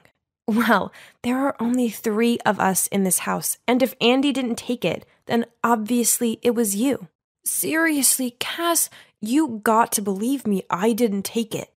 But clearly she was lying, because when I rummaged through her bag, Cass's necklace was right there. Cass told her to get out of her house, and Mindy burst into tears. Poor Mindy. I really wanted to stop Cass, but she seriously hates people touching her stuff, so I just kept quiet. You see, Cass and I are pretty much joint at the hip. We've always lived in the same neighborhood, so we grew up together and shared everything. Well, almost everything. Except one little secret that would probably ruin our friendship forever if she found out about it. Auntie, what are you doing? I started to stammer. Uh, um, uh, um, this is so cute. Honestly, I'm so upset about Mindy. I can't believe she'd do something like that. I smiled, not knowing what to say. I mean, it was me who had exposed her. Suddenly, I felt so guilty. Right at that moment, we got to the checkout. Cass took everything out of the cart to give to the cashier. Hang on, she exclaimed. What is this? This item has the barcode ripped off. The cashier made a fuss for a while and even called the manager. Cass and I stood there for ages trying to figure out what was going on. Cass even started crying, thinking she'd be accused of shoplifting. After about 30 minutes, the store manager came and told us we could leave. They kept the items that had no barcodes and sent us on our way. Phew, that was close. Mm, what? What do you mean? Oh, nothing. I'm just relieved that we didn't get into any trouble. Just so you know, though, that wasn't the first time we'd got ourselves into an awkward situation while out shopping. Sometimes it was the torn barcodes, sometimes the tags were missing, then the security alarm would always go off at the door. And all of these situations weren't just coincidences. Okay, I gotta be honest here. The thing is, I have a habit of pilfering. Not because I can't afford stuff. I mean, my dad's the owner of a bank, so money isn't the issue. My dad basically buys me the latest phone every month. And you should see my wardrobe. I have all the designer bags. I steal because it gives me the kind of thrill that my boring daily life just can't give me. My dad just hands me money every day and never stops to think that maybe I'd like a hug or a how are you ever since my mom left when I was just a baby. He's been using money as a way to keep the peace. So one day when I was in elementary school, I stole a hairpin from the girl who sat next to me. It felt so good, like my own little secret.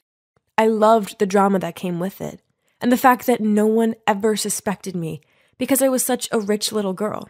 After the hairpin, I got addicted to stealing little things and couldn't stop. It felt like the only thing I could control in my life, and so I kept on doing it. And here I am now, still getting a buzz from it every single time. And yep, you've guessed it. The one who took the necklace at Cass's sleepover was none other than me, of course. But at that time, because I was so scared, I slipped the necklace into Mindy's bag and pretended to find it there. I was deep in thought when suddenly Alex's scream startled me. Guys, I've lost my unicorn pen. You know the pen that glows? The whole class was suddenly in uproar. Some friends were trying to look for it. Meanwhile, Alex was walking straight towards me. Andrea must have taken it. This morning, when I took out the pen, me and her were the only ones in here. I looked up at Alex my heart pounding in my chest. This is it. I'm so done this time. Then I suddenly looked over at Scott Parker, the cute boy who just transferred to our class. Oh no, I couldn't give him a bad impression of me. I had to quickly think of a way out of this. You waited until I went to the bathroom to take it, didn't you? Alex, I'd never do such a thing. Besides, I have loads of nice pens. In fact, you can have one if you'd like. I pulled out a beautiful pink rhinestone pen from my pencil case and handed it to Alex. While Alex stared in awe at my pen, I suggested everyone go check their lockers to see if her pen was there. Sure enough, right by the lockers was the glowing unicorn pen she'd lost, right in front of Scott. I picked up the pen and handed it to Alex. I'm so upset you thought I'd steal this from you. But it's okay. At least we found it. Alex blushed and apologized to me. Our other friends also blamed Alex for not looking for it carefully enough and for jumping to conclusions about me. Next time, don't be so silly. Andrea's a good person. Besides, her family is so wealthy. Why would she need to steal a pen from you? I just smiled and walked away. Suddenly, a voice called out from behind me. It was Scott. He looked at me and said, Wow, that was totally dramatic. I'm Scott, by the way. You're Andrea, right? I'm sorry if this is a bit forward, but here's my number. Excuse me? Am I dreaming? Of course, I texted him as soon as I got home. He said he was so impressed with how I'd handled being blamed for the whole thing. Soon we were chatting every day, and eventually he asked me to be his girlfriend. I was so happy. But there was just one small problem. Ever since we'd started dating, I felt really ashamed about my bad habit of stealing things. I was determined to give it up, but it wasn't going to be easy. One day, Scott came to pick me up and asked if I wanted to go to the bookstore. A bookstore? No, I don't want to go there. Can we go somewhere else? Please? Seeing me panic like that, Scott looked puzzled. Then he suggested we go to his place to watch a movie, which I was fine with. Hopefully, there would be no temptations for stealing there. A middle aged woman opened the door for us at Scott's place. Oh, this is Sandra, our maid. Hi, Sandra. I'm Andrea. But instead of saying hi back, Sandra just stared at me in a seriously creepy way. It actually sent shivers down my spine. After watching the movie, Scott and his mom invited me to stay for dinner. Scott's mother, Mrs. Doris Parker, was really sweet, and we had some interesting chats. While waiting for dessert, I got up to go to the bathroom. But as I stepped out there, I almost bumped into Sandra. She was just standing there staring at me again. Uh, sorry. She didn't say anything, but just kept staring at me in this weird way. Oh my gosh, why was she looking at me like that? The next morning at school, Scott told me his mother had just lost a valuable ring. She had a jewelry tray next to the bathroom sink, and after washing her hands, she'd forgotten to put her ring on. After dinner, the ring was no longer there. I comforted Scott, then made an excuse to go to the ladies' room. I needed to seriously think about this. Honestly, I'd tried my best to not get the urge to steal at Scott's place. But when I'd seen Doris's beautiful ring, no, I had to find a way to return it. No one could find out about this. And I had sworn to myself that I would never let this happen again. Hello, San. Huh? Where's Sandra? Oh, she was fired. Mrs. Parker said Sandra had stolen her jewelry. Anyway, may I help you? Oh, no. I had to return this ring immediately. Poor Sandra. Scott came down for me and said he'd make dinner. I glanced through the window to find Doris was having tea in the garden. This was my chance. I snuck up to her room, quietly tiptoed in, and headed towards her jewelry box. Suddenly, the light came on. Tell me what on earth are you doing here? I quickly turned around, dropping the ring to the floor. M- Mindy? Why are you here? I'm Scott's cousin. So it was you who stole the ring. I can't believe my cousin is dating you. Hearing the noise, Scott and his mom ran upstairs while I was still dumbfounded and speechless. It was you who stole Cass's necklace, too, wasn't it? She won't even speak to me because of you. I'm so sorry. I know it's not okay, but I couldn't stop myself. I've been feeling so guilty, so that's why I'm returning it. I was still kneeling on the ground when a hand reached out to me and helped me stand up. I'll handle this. Come on, let's have a chat outside, shall we? Turns out Mrs. Parker is a therapist. She could see I had a problem and offered to help me. I told her how guilty I'd been feeling about Sandra getting fired and asked Doris if she could call her for me so I could apologize. Thirty minutes later, Sandra arrived. As soon as Doris saw her, she apologized and offered her the job back. But no, no, ma'am, I was the one who stole it, and I deserve to be punished. I'm sorry, Sandra, I've already confessed to Mrs. Parker that I stole the ring. I didn't mean to get you fired. I just couldn't help it. You didn't do anything wrong. I, it was me. I was greedy. She is innocent. What on earth is going on? Obviously, I was the thief, so why was she defending me? Why are you doing this? Do we know each other, Sandra? And that's when the truth came pouring out.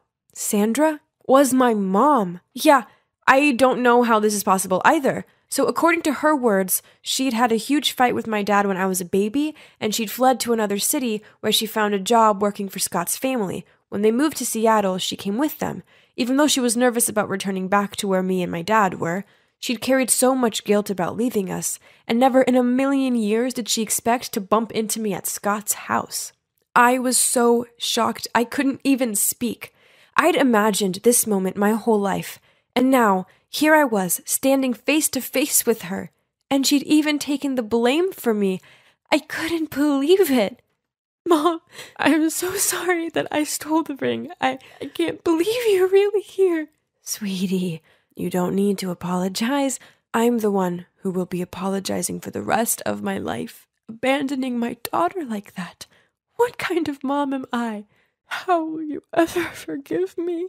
We stood there, hugging for what felt like forever, and I knew in that moment that I'd never steal again. Doris diagnosed me as having kleptomania due to a lack of love from my mom. But now that my mom was back, I had no reason to seek out those thrills from stealing. I had everything I needed right here. There were a few moments where I almost stole again, but Doris told me to call my mom as soon as I felt the urge, and when my mom picked up the phone and I heard her voice, the urge faded, and I felt so much better. Scott and Cass and Mindy forgave me after Doris sat them all down and explained more about my addiction and where it stemmed from.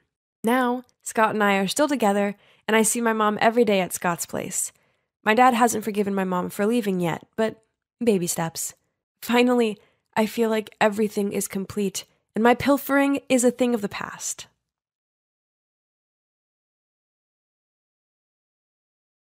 Hi there, I'm Flora, Portside High School cheerleading captain and beauty pageant queen. My natural beauty and charisma mean that everyone's drawn to me, but hey, I don't make it easy for them. I only allow a select few to get close to me as I can't be seen associating with just anyone.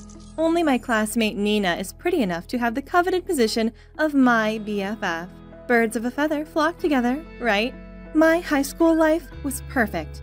But then, in the space of one day, that all changed. The principal, Mrs. Harrington, told me that due to my cheerleading abilities, I'd won a scholarship to the ACL Academy, a boarding school for the athletically gifted, and I was leaving today! Huh? This made no sense! I mean, I don't even do sports! I rushed straight home to discuss it with my mom and found her sitting on the couch surrounded by a load of shopping bags. Yep, she'd already spent the scholarship money before I'd even found out the news. I know mom loves money, but how could she make such a huge decision about my life without discussing it with me first? Ugh. Looks like I had no choice but to leave Portside High behind and go to this stupid sports school. Whatever. I'm a skilled cheerleader after all. It'd be a breeze, right? Wrong. This new school sucked. On my very first day here, I was woken up at 6 a.m. and forced to run five laps around the stadium. God, are these people superheroes or what? How are they able to run and laugh at the same time while I'm panting like crazy? I didn't have time to catch my breath when the teacher made us move to the gym to lift weights. After three hours in the hellish gym, I barely had time to digest my lunch before they steered me into the volleyball court. Yep, that's the sport mom had registered me for. Ugh, this stupid sport. Finally, nighttime arrived, and I managed to crawl my aching body back to my dorm. God save me from this living nightmare. Suddenly, the door opened, and in stepped my three roomies, aka my volleyball teammates. Honestly, I don't even know if I could call them girls or not. One has super short cropped bangs, one doesn't say much and shuffles more than walks, and one wears clothes so baggy they resemble a tent. Obviously, I'm way out of their league. And you know what they all have in common? They're always sweaty. So gross. Come to think of it, I have to go take a shower ASAP. Otherwise, I might turn into one of them. Fresh out of the shower, I called Nina and blurted out how exhausted I was and how much I missed our school. Are you? You must be so tired. Oh, by the way, I have some amazing news to tell you. There's a city beauty pageant coming up, and I'm representing the school. What? But I won the school beauty contest. Yeah, you did. But you don't attend Portside High anymore, so seeing as I came second, they've given me the spot. Too bad, as you definitely would have won. What? How unfair! I was still in shock when the dorm supervisor stormed in and took away my phone. Uh, yeah, I forgot to mention. This school even has a strict 10 p.m. phones away and lights off rule. It's all because they believe health is the most precious thing for an athlete. I tossed and turned all night. This beauty pageant was massive, and there's no way I could miss it. But I'm not at Portside High anymore. Instead, I'm stuck in this dumb jock academy. Hmm, if only I could get out of here. Huh, that's right. I have a brilliant idea. I need to get expelled. So, I decided to skip practice and go cause some havoc for three days straight. I poured paint into the pool, cut off the badminton strings, deflated all of the soccer balls, and of course, I made sure that the security cameras caught it all. And as expected, the principal eventually called me into his office. Yes, this was the moment I was waiting for. Soon I could pack and get out of here. Only the rest didn't exactly go to plan. if it had not been for Mrs. Harrington. Two laps of frog jumps around the soccer field. Now! What? Frog jumps? I hate those things! Why couldn't he just kick me out already? But wait, what does Mrs. Harrington have to do with this? After my punishment, I needed to vent. So, hugging my aching thighs, I called Nina to complain about my failed plan. And she just burst out laughing. oh, Flora, those outdated tricks were never gonna work. You have to do something bold, like. oh my god, Nina is a genius! The next night, following Nina's instructions, I sneaked out when everyone was asleep. That's right, I'm going to wake the whole school up with these firecrackers. I lit one in the dorm's backyard, then ran to hide behind the bushes. Three, two, one, and silence. Huh? I went back to check and saw that it had gone out. What's wrong? Is this one broken? I tried again and again, but the same thing happened each time. As if a ghost did it? Just the thought of it sent chills down my spine, so I sprinted right back to my room. Okay, so not only had my plan been a massive fail, but it had left me super tired. Needless to say, this morning's run was not fun. Zombie alert! Hmm, how come they look even more exhausted than me? Hey, have you guys heard about the doomed jock? He's the ghost in the dorm's backyard. Allegedly, he attended this academy years ago, and he exercised himself to death right there in the dorm's backyard. So now he haunts it. What was she talking about? Could it be the one who messed with me yesterday? Was the doomed jock? I couldn't just give up like that. I needed to figure out a way to get out of this awful place before this ghost got me. Hmm. How about starting a fight? I heard that the fencing team and basketball team were the two toughest groups in the school. So, I sprayed paint on their fencing masks and punctured all of the basketballs, and left a fencing sword at the scene. Then I wrote both teams an anonymous letter. Sunday, 2 p.m., abandoned building near the back gate. When Sunday came, I hid in the abandoned house and waited for the two groups to arrive. Look at their tense faces. This was going to be fun. I quickly called the cops and then took advantage of the chaos to blend in with the feuding teams. I almost got punched in the face when, fortunately, the cops got there just in time, causing everyone to frantically flee the scene. I happily ran to a cop. It's me! I started this fight. But, to my surprise, the cop just asked if I was hurt. Then he hurriedly chased after the gang. Only then I realized that if I wanted to be caught, I had to do exactly what they did run away. Oh man. I was staggering my way back to the dormitory, feeling deflated, when I spotted the fencing and basketball teams coming my way.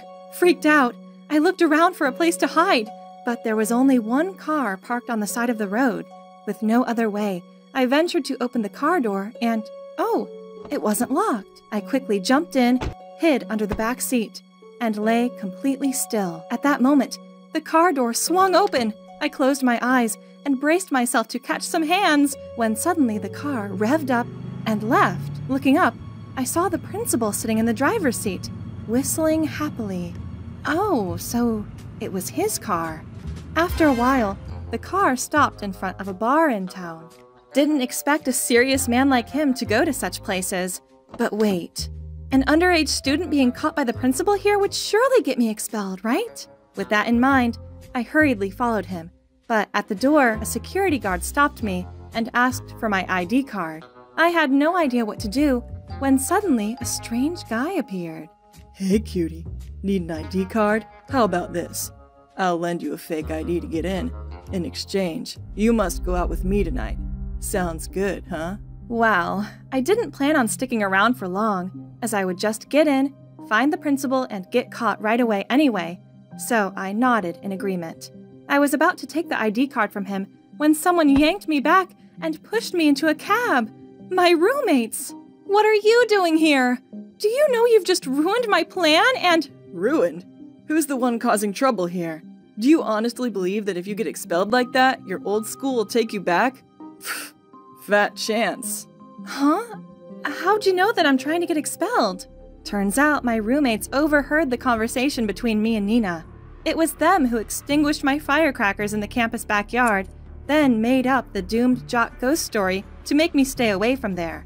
Then, when the basketball and fencing teams searched for me, it was them who lied that I was with them all day so I could get away with it. But what did you do that for? Don't get us wrong, we didn't do it for you. We did it to protect the school's reputation. Then they started telling me that, for the last few years, due to bad achievements, our school was on the chopping block to make space for industrial areas. The only way to convince the city council to keep our school was by winning the state's upcoming sports competition. We've all played sports for all of our lives. Sport is everything to us. If our school closes, we don't know where we'd go. That's why when we saw you being lazy and messing about, we couldn't just sit back and watch. Oh, I had no idea about this. Suddenly, I felt so guilty.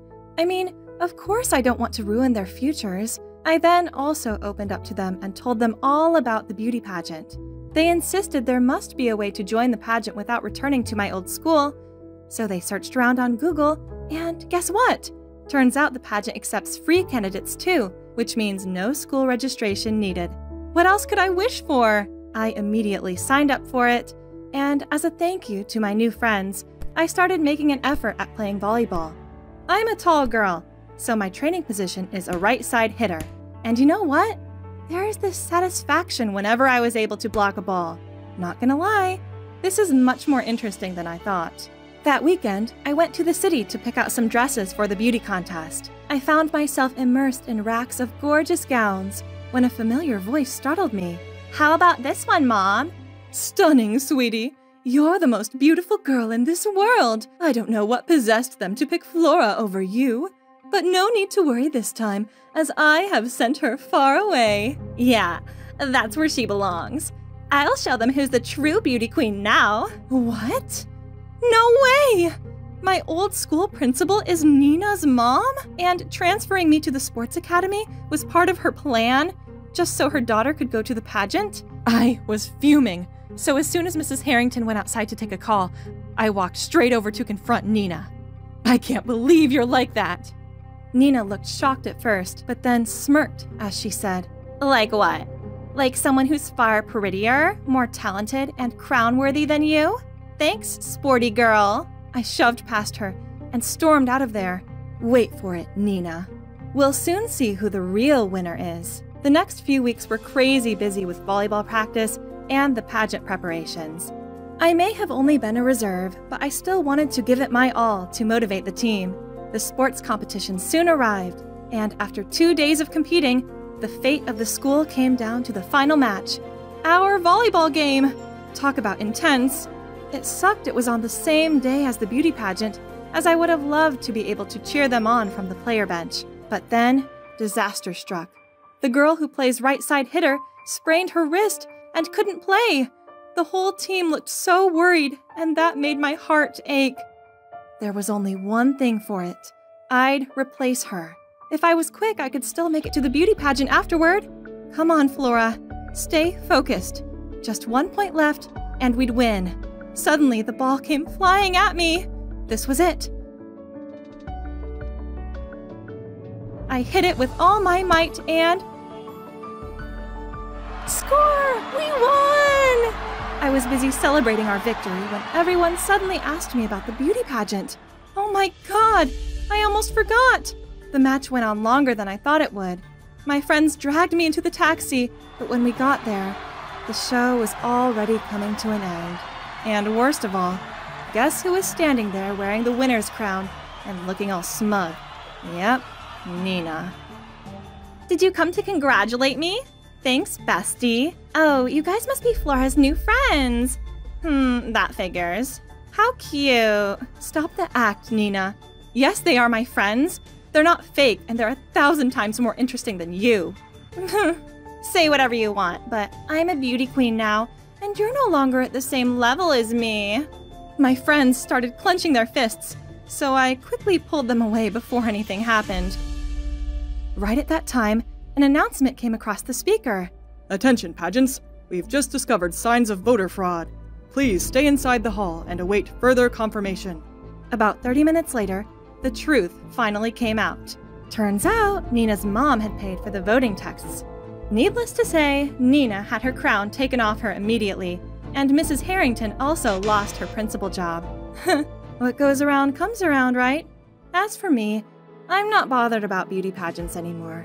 Instead, I have a new hobby volleyball. Turns out I'm pretty good at it, and who knows, I might even become a professional player? And you know what the best part of all this is? I now have true friends by my side who I know will be willing to help me anytime and anywhere.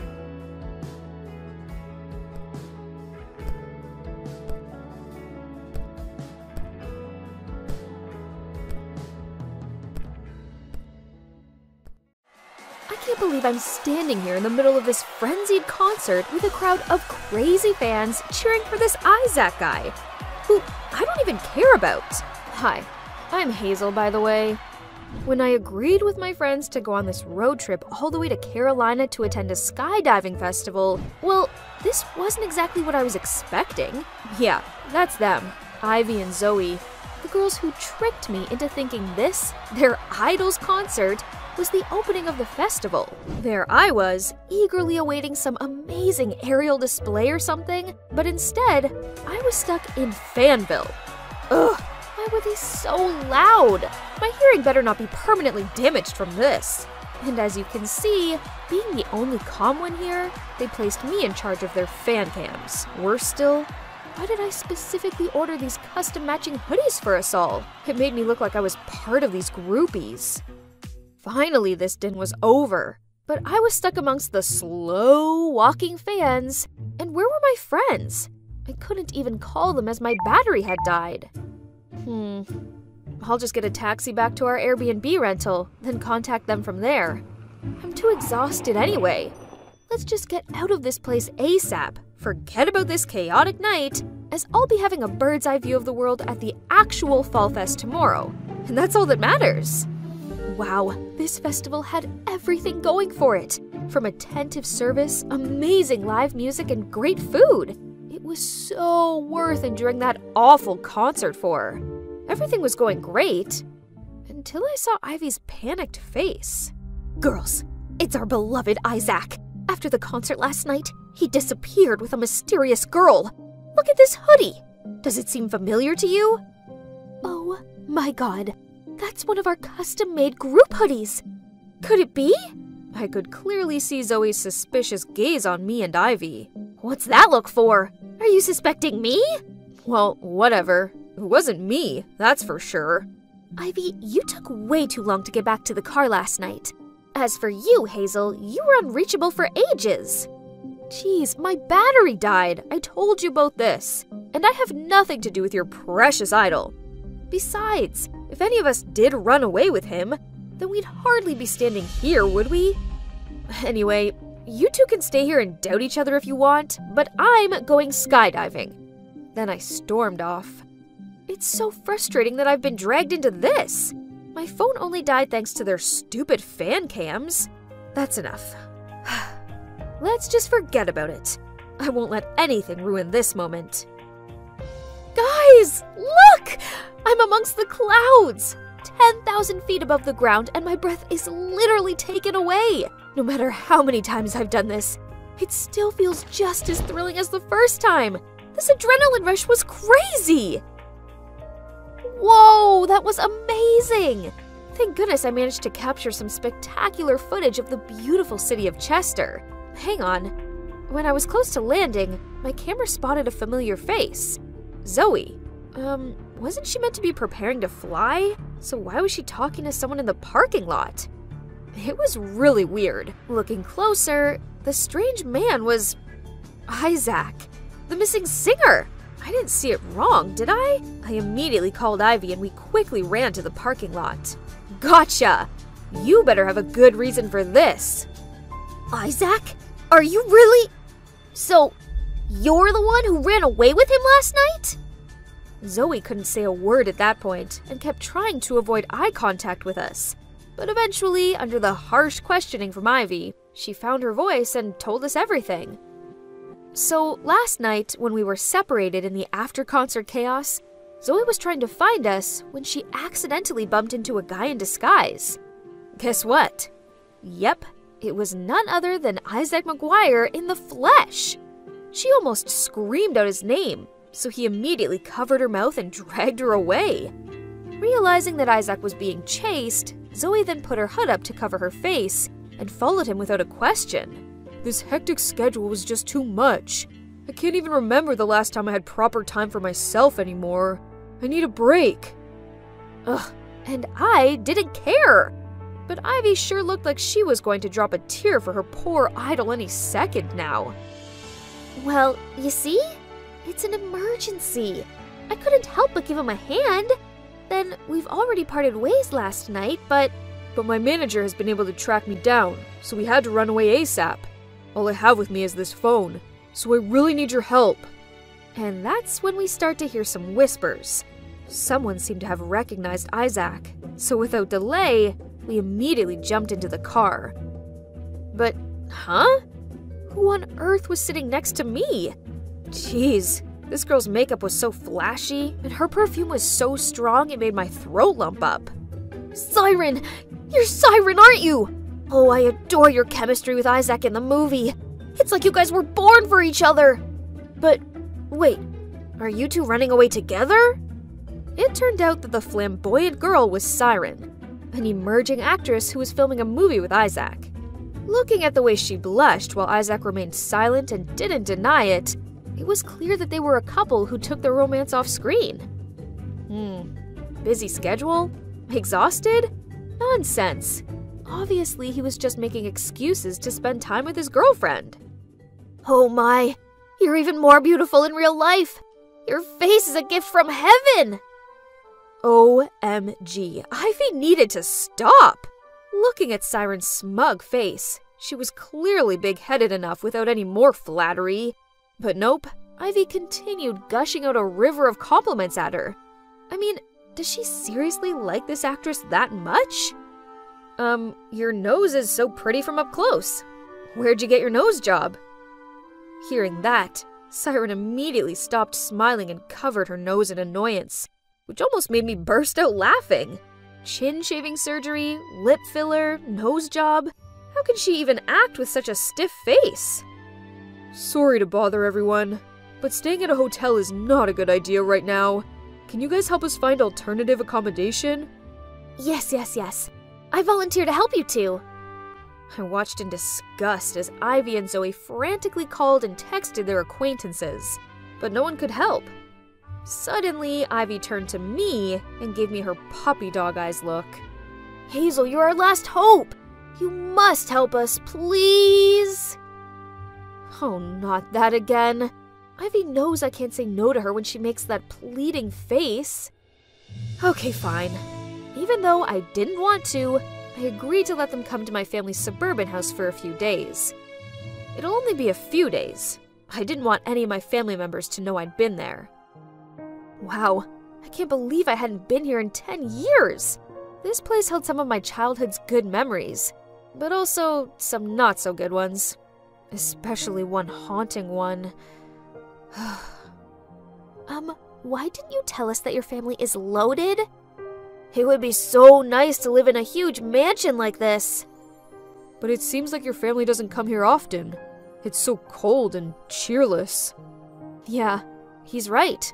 Ever since that day, this place was never a home to me anymore, but just a hollow house of gloom. I was still lost in my thoughts when a deafening sound of something breaking came from upstairs. We all rushed upstairs to see what all the noise was about and found Siren standing there in my parents' bedroom, a broken vase at her feet, and worse still, she was wearing my mom's dress. Take it off right now! Siren just shrugged, stepped over the broken vase pieces, then strutted across the room and even stopped to pose at the end. Puff! It's just an old dress. Why so serious? I was so furious that on her walk back, I tripped her up, causing her to fall flat on the floor. Isaac hurriedly helped her up, and she hid behind his back and did her whole crocodile tears act, saying I was picking on her. Oh, please. I'd had quite enough of this drama queen for one day, so I was about to lunge at her to teach her a lesson, but Isaac blocked me. Excuse, Siren. That was immature of her, but I suggest you should calm down first. That's right, Hazel. The two of them didn't bring any personal belongings. Anyway, Siren was just a bit careless. You'd better watch your girlfriend closely. Change your clothes. Never touch my mom's stuff again. Got it? Now I'll arrange the rooms for all of us. Well, there were only two usable bedrooms here, since most of them were dusty and unfurnished. So I took the couch and gave one room to my friends, and the other room to the loving couple. But as Siren gave a satisfied look and took Isaac's hand to lead him to their room, he just shook her away and said I could have the bed, and he'd take the couch. No, the couch is mine. I didn't want to share a bed with her. But Isaac ignored my protests and plopped down onto the couch to claim it.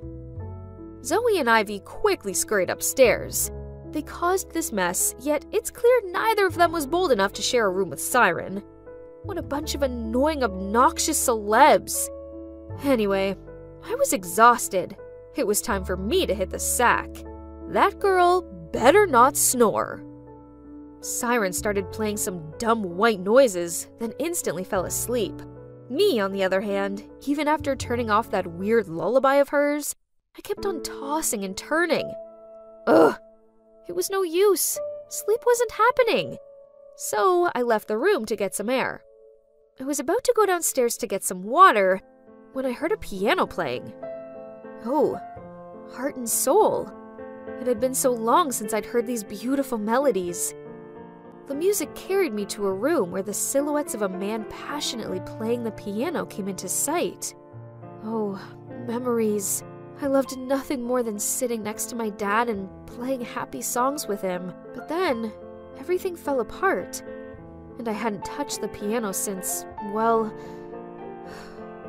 until today. I sat down next to him and let my fingers glide over the keys. I was immersed in the harmonious melodies of the music and let the notes take me back to the past until a scream snapped me out of it. What on earth are you two doing?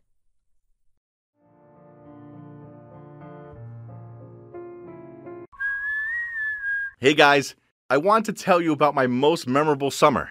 It involves a parent free house, the girl of my dreams, and my little bro Silas's massive secret. Actually, Silas doesn't want me telling you about it, but this story is too fun to keep it for ourselves. So stay tuned. Let me tell you what happened. Imagine the scene. I'm there eating corn dogs when my parents announce they're going away on vacation for their 20th wedding anniversary. That means I'll be home alone all week long in our big farmhouse surrounded by vast fields. Sounds great, right? But wait, it got even better when my childhood friends who had now lived in another city were also back in town for the summer vacation. Of course, my parents let me invite them over to stay while they're away. That's how close our families were. Oh god, I haven't seen Carl in over a year. And his sister Ellie, too. Yep, I wouldn't say that I had the biggest crush on my best friend's sister, but there's that. Anyway, this was gonna be my summer paradise. But you know, man proposes, God disposes. It turns out my parents weren't taking Silas with them because they thought I was old enough to look after my little brother. Ugh, what a bummer. How was I meant to impress Ellie when I had a whining kid to care for?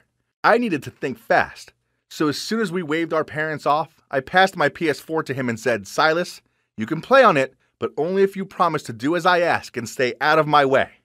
Of course, he agreed. I mean, what eight year old boy wouldn't want to play Fortnite? I checked on him now and then and gave him juice and snacks. Other than that, I had plenty of time to spend hanging out with Carl and Ellie. Things were going well for the first few days, and nothing beats being around your best bud and your crush all day long. Whoa, just I just couldn't take my eyes off Ellie. She seemed to have gotten even more beautiful. Then, on one evening, we were sitting outside stargazing. It was so romantic, especially when Carl thought it was dull and left us to go to bed first. I was about to do the whole yawn and stretch out my arm to wrap around her shoulders trick when Silas appeared and squeezed in between us. I glared at him and through gritted teeth asked him what he wanted. He just shrugged and said, Edward, I'm bored of that game now. I want ice cream. Ellie laughed, then led him off to get some. What? How dare that little dweeb ruin my smooth moves? What a buzzkill! I needed to come up with a new trick to handle this annoying kid. So, the next morning, I told Silas that if he wanted to download a new game of his choice, he needed to go into the field and find a corn cob with exactly 200 seeds on it. He looked like he was going to cry, but he went off to the field. Oh, how smart I am, sending my little brother on a wild goose chase. I expected him to give up after a few hours, but nope. He was out there searching for it all day. He even managed to drag Carl along to help him. In the end, he still had to leave empty handed.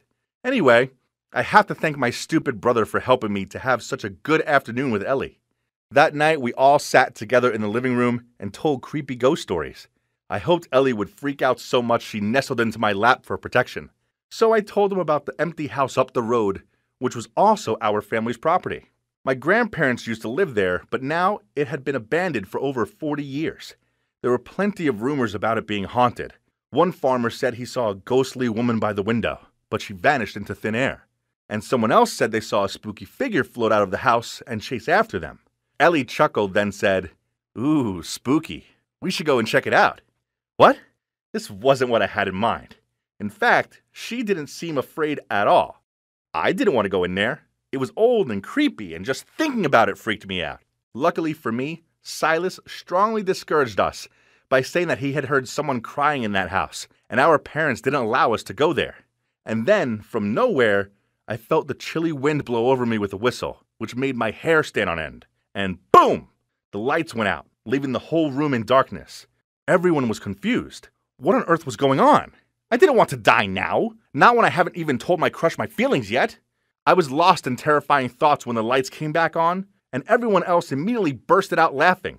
OMG, I found myself sitting on Ellie's lap with my head between my hands. It turns out that my evil little brother was the one who turned the lights off as a prank. How humiliating. Oh well, at least Ellie changed her mind about wanting to check the house out. But then, over the next few days, weird things started happening. I went to grab a snack for my secret loot under my bed, but what's this? All of the Snickers bars had gone. It couldn't have been Silas, as he hated Snickers bars, right? Then we were watching a movie. Ellie started shivering, so being the awesome guy I am, I went to get a blanket for her, but. Huh? All of the blankets had gone? When I went back and told Carl and Ellie about it, Ellie said that was odd, as the other day she couldn't find her pajamas, and Carl's pack of Gatorade had vanished too. So, is there a real ghost in my house? As for my bro, he was acting like he was haunted. He barely talked anymore, and for three days in a row, at 6 p.m. on the dot, he disappeared out of the house for hours. This was so strange. I mean, that's the time slot for his favorite show, and he seriously wouldn't miss Adventure Time without a good reason. For me, it's great that Silas isn't at home, but since I'm the older brother, I still have to keep an eye on him, as mom and dad wouldn't have been best impressed if I'd lost him or something. That night, he mysteriously disappeared again. I was quite curious, so I went to look for Silas but couldn't find him anywhere. Panicked, I raced around the garden calling out his name. Finally, I felt a hand pounding on my shoulder. My heart was in my mouth. I turned around to see Silas standing there sweating. I shouted at him, You can't just run off without saying a word. Where have you been? But Silas calmly replied, So what? It's my business, not yours. Then he ran straight inside. He gotta be kidding me. Okay, then if secrecy was the game he wanted to play, then I wouldn't mind being the detective either. I had to figure this out. So I gathered Ellie and Carl and came up with a genius plan. The next day at lunch, as planned, Silas entered the kitchen and everything was set. I placed an eye catching candy filled jar on the table, and as expected, Silas immediately picked up a handful and put them right in his mouth. Oh, just look at his happy face. He had no idea what I had in store for him. Right after that, we entered the room. Not wanting to get caught eating food on the sly, Silas quickly hid under the table. And of course, we pretended not to know he was there. Then I held up that candy jar and said, Guys, guess what? I've ordered these pills online. It's the legendary invisible candy that makes it impossible for people to see me. Carl acted surprised. Unbelievable! How did you get this? I heard it's such a hit that it was sold out everywhere. Then Ellie asked me how long we could disappear if we ate these candies. I replied, I think if we just eat four to five candies, we can disappear for 45 minutes. We continued our skit, then I said I had to leave the candy jar here. So tomorrow we can try it and go out pranking everyone with our new superpower. I winked and everyone nodded. Now, where did Silas go again? I asked, and everyone shook their heads. Then I picked up an apple and purposely dropped it on the floor, then immediately peered underneath the table to look for it while pretending not to see Silas down there. He looked absolutely amazed, trying not to make any sound. Now, Silas thought he was truly invisible.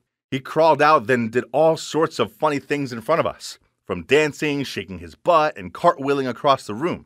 It was so hard to keep a straight face and ignore his existence. Then, at 6 p.m., Silas left the house with a backpack on.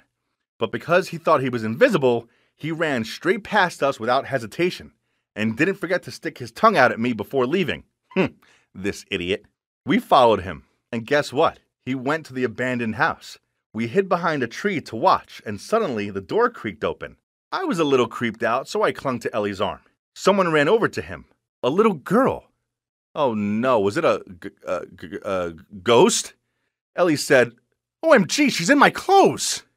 I looked closer and realized she wasn't a ghost, but in fact was a real life girl. So Silas hid that little girl in our abandoned house, and that's why he kept telling us over and over again not to come here. Since Silas thought that he was invisible, he kept running around her saying, You can't see me, right? He looked so funny as the little girl was too bewildered to understand anything. And right then we barged in shouting, Gotcha! Well, well, well. Look who's the big guy hiding his girlfriend here. I pulled out Silas's backpack, which was filled with Snickers bars and other missing items. Silas was shocked and sputtered, I, it's, uh, uh, it's not what you think. The little girl burst into tears and said, I'm Sally. I got lost, so Silas helped me. Silas said that he had met Sally one day on the cornfield. She was alone and hungry, so he brought her here and took care of her. He didn't dare tell us because he was afraid that we would make fun of him. Oh, I didn't think that my usual foolish brother was able to do such a good thing. So I hugged them and said, I don't blame anyone, Silas. You did a very good job, and Sally, you will be safe here. Take her to our house and I will call someone for help.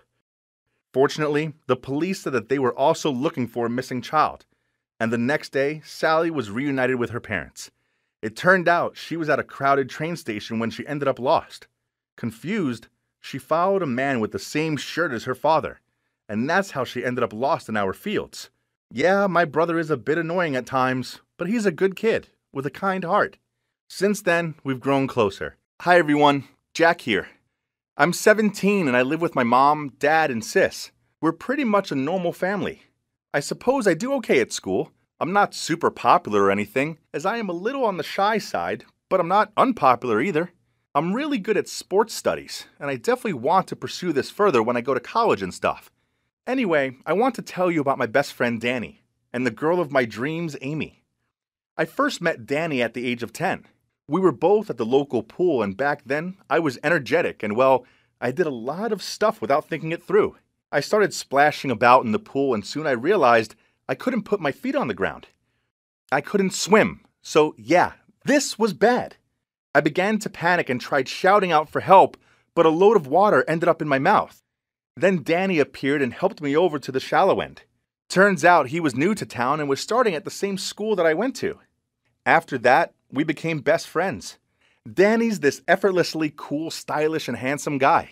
He was always more popular than me, and all the girls liked him, but still, he chose to be friends with me. Being around him was great fun. We hung out and goofed around. There's this girl from school called Amy. She's popular and beautiful. She always wears these pretty dresses, and well, she just stands out. Problem is, I wasn't the only one to notice this. Practically every boy at school had a crush on her.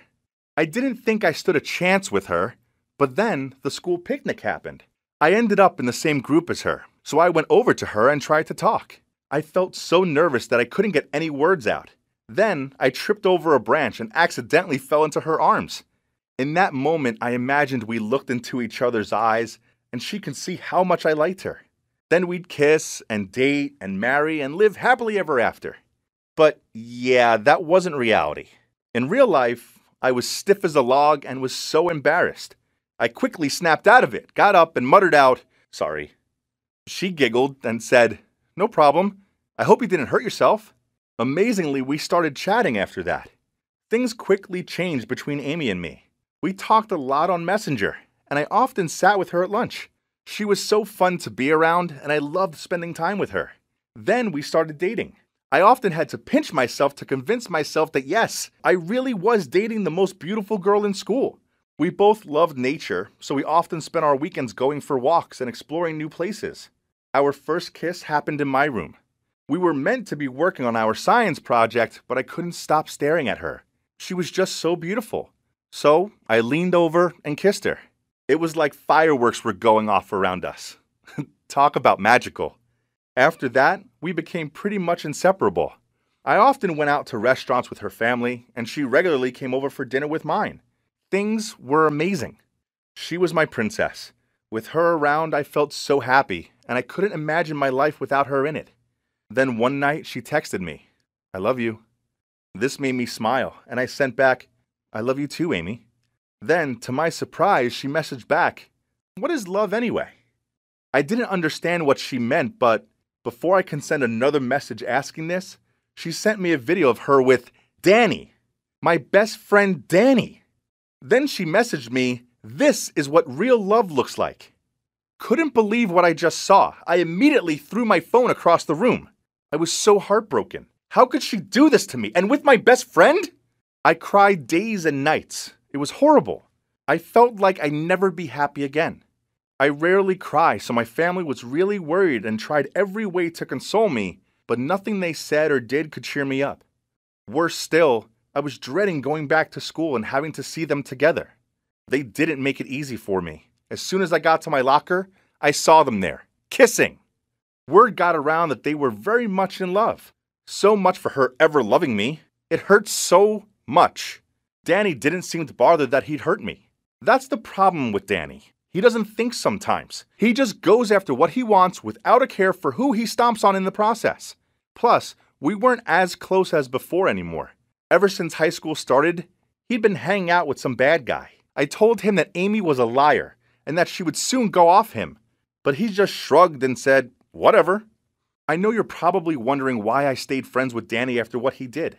I guess I'm too nice, but I just couldn't break our seven year relationship over this. It was bad enough I'd lost the love of my life. I couldn't afford to lose my best friend, too. Yes, I felt betrayed and angry, but Amy had made her choice, and it wasn't me. Then one night I was on my way home on the metro. The only free seat was next to Amy, so I sat down next to her. At first it was awkward, and neither of us spoke. Then I asked her, Why did you cheat on me? She replied, well, Danny's the richest, most popular, and best looking guy in school. I only used you to get closer to him. This was horrible to hear. I was so mad that I chose to stand for the rest of the journey back. The next day, I tried telling Danny what Amy had said. He told me I was just being jealous, shoved me, and yelled at me that I needed to stop being so bitter. We didn't talk for two weeks after that. I felt so lonely, but it turns out neither Danny nor Amy were the people I thought they were. Danny tried calling, but I ignored his calls. He also sent me some lame apology messages, but I didn't reply. Then one day, he showed up on my doorstep, gave me chocolate, and asked me to go for a walk in the woods with him. I took my GoPro with me. As I said before, I love nature. I always film the scenery on my walks. I asked him if he truly loved Amy, and to my surprise, He said that girls were like chewing gum. You had to chew till the end and then spit them out. He said he would use Amy one last time, then finish with her, then let his friends have her. Then he would move to another city and do it all over again. This was shocking to hear. I knew he could be reckless, but I didn't think the boy who saved my life when we were 10 was capable of being so cruel. I told him I never wanted to talk to him again, and I stormed off. My GoPro had been recording the whole time, so it was about time I took revenge on my shattered heart, wasn't it? Thing is, as mean as Amy has been, I still care about her. I thought about it a lot and eventually decided that she deserved to know the truth, so I sent her the recording. Even after seeing it, she made out I'd edited it to make Danny sound bad, as I was just jealous. I knew that her parents thought she was so sweet and innocent, so I told her that if she didn't split up with Danny, I'd send them the video clip. She tried to resist at first, but soon she gave up and begged me not to show it to them. I later found out that she'd continued to see Danny in secret for weeks after that, but eventually, she saw the dark side to him. She even came up to me at school and thanked me for trying to help her and apologized for hurting me. I didn't try to save her from Danny because I was feeling sympathetic toward her or anything like that. Instead, I believe that witnessing a crime is as bad as committing it. I guess that as mean as Amy had been to me, I didn't want to see her hurt, especially not by that jerk. Actually, after that, she's even reached out to me once and asked me to be her boyfriend again. But of course, I wasn't a fool. A leopard can't change its spots, so I made it clear to her that my answer was and would always be no, and that we should just stay friends. While me and Danny, we aren't friends anymore. I have other friends, but it's hard, as a part of me does still miss him, but I don't like the person he's become. Thanks for listening to my story. I hope that you guys don't go through what I did, but if you do, I hope you find the strength to do the right thing, however hard this may be.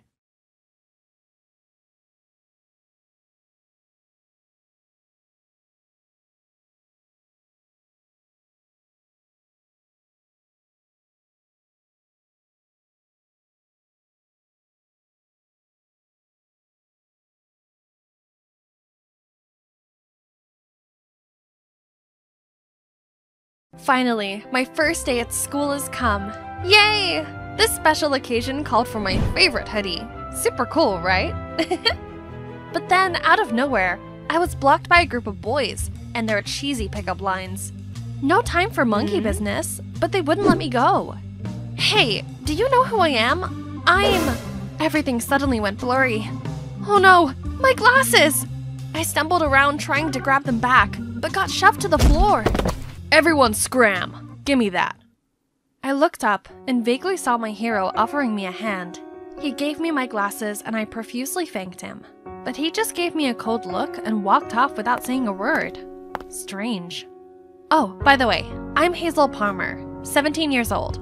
But I'm not here as a student, but a teacher. Yes, you heard it right. Not to brag, but I'm kind of a genius. I even got offered a position in my college's research project, which I have rejected to pursue my dream of becoming a high school teacher. So, here I am, on my very first day of fulfilling it. First, I was introduced to the other teachers, but unlike what I had in mind, they just threw me judgy looks. Luckily, after the meeting, a young teacher named Rebecca kindly welcomed me and even tipped me off about some of the rebels at school. Now, time to meet my students. As soon as I finished my introduction, the whole class immediately turned into a beehive. Miss, how about we continue this lesson at the movies tonight? Mullet, pierced nose. This guy must be the notorious Lucas that Rebecca warned me about. Please, as if you'd date someone who would wear such a goofy hoodie. Yeah, who let a weeaboo teach here? Jeez, I didn't expect this reaction. I tried to restore the silence, but to no avail. Ugh, I'm out of patience. Quiet, or else you'll all get F's. Thank God it worked. Whew, That'll show them who's in charge. But here comes another problem. No way! There's gotta be someone who's really here to study, right? Okay, who is our class's top student? Ethan! Ah, didn't he help me in the hallway? But it looked like he didn't recognize me. Okay, let's see. Ethan, right? Could you solve this equation? Uh, equation? N- no, equation. I suppose spelling is a bit hard for a numbers person like you. And the whole class burst into laughter. Jeez, this guy was unbelievable. Hmm, How about the second best student? Cassie Santiago? That name sounded just like my old classmates. I turned to the corner where an arm reluctantly raised. Oh my, it's her! So good to see a familiar face here. But why is she avoiding me? That afternoon, while walking to my car, I saw Cassie and her friends picking on a girl. Upon seeing me, they immediately ran away, but I managed to catch Cassie. Cassie, since when did you become a mean girl? None of your business. Report me to the principal if you like. Then she strutted away, leaving me standing there confused. Since when had the sweet Cassie ended up on the dark side?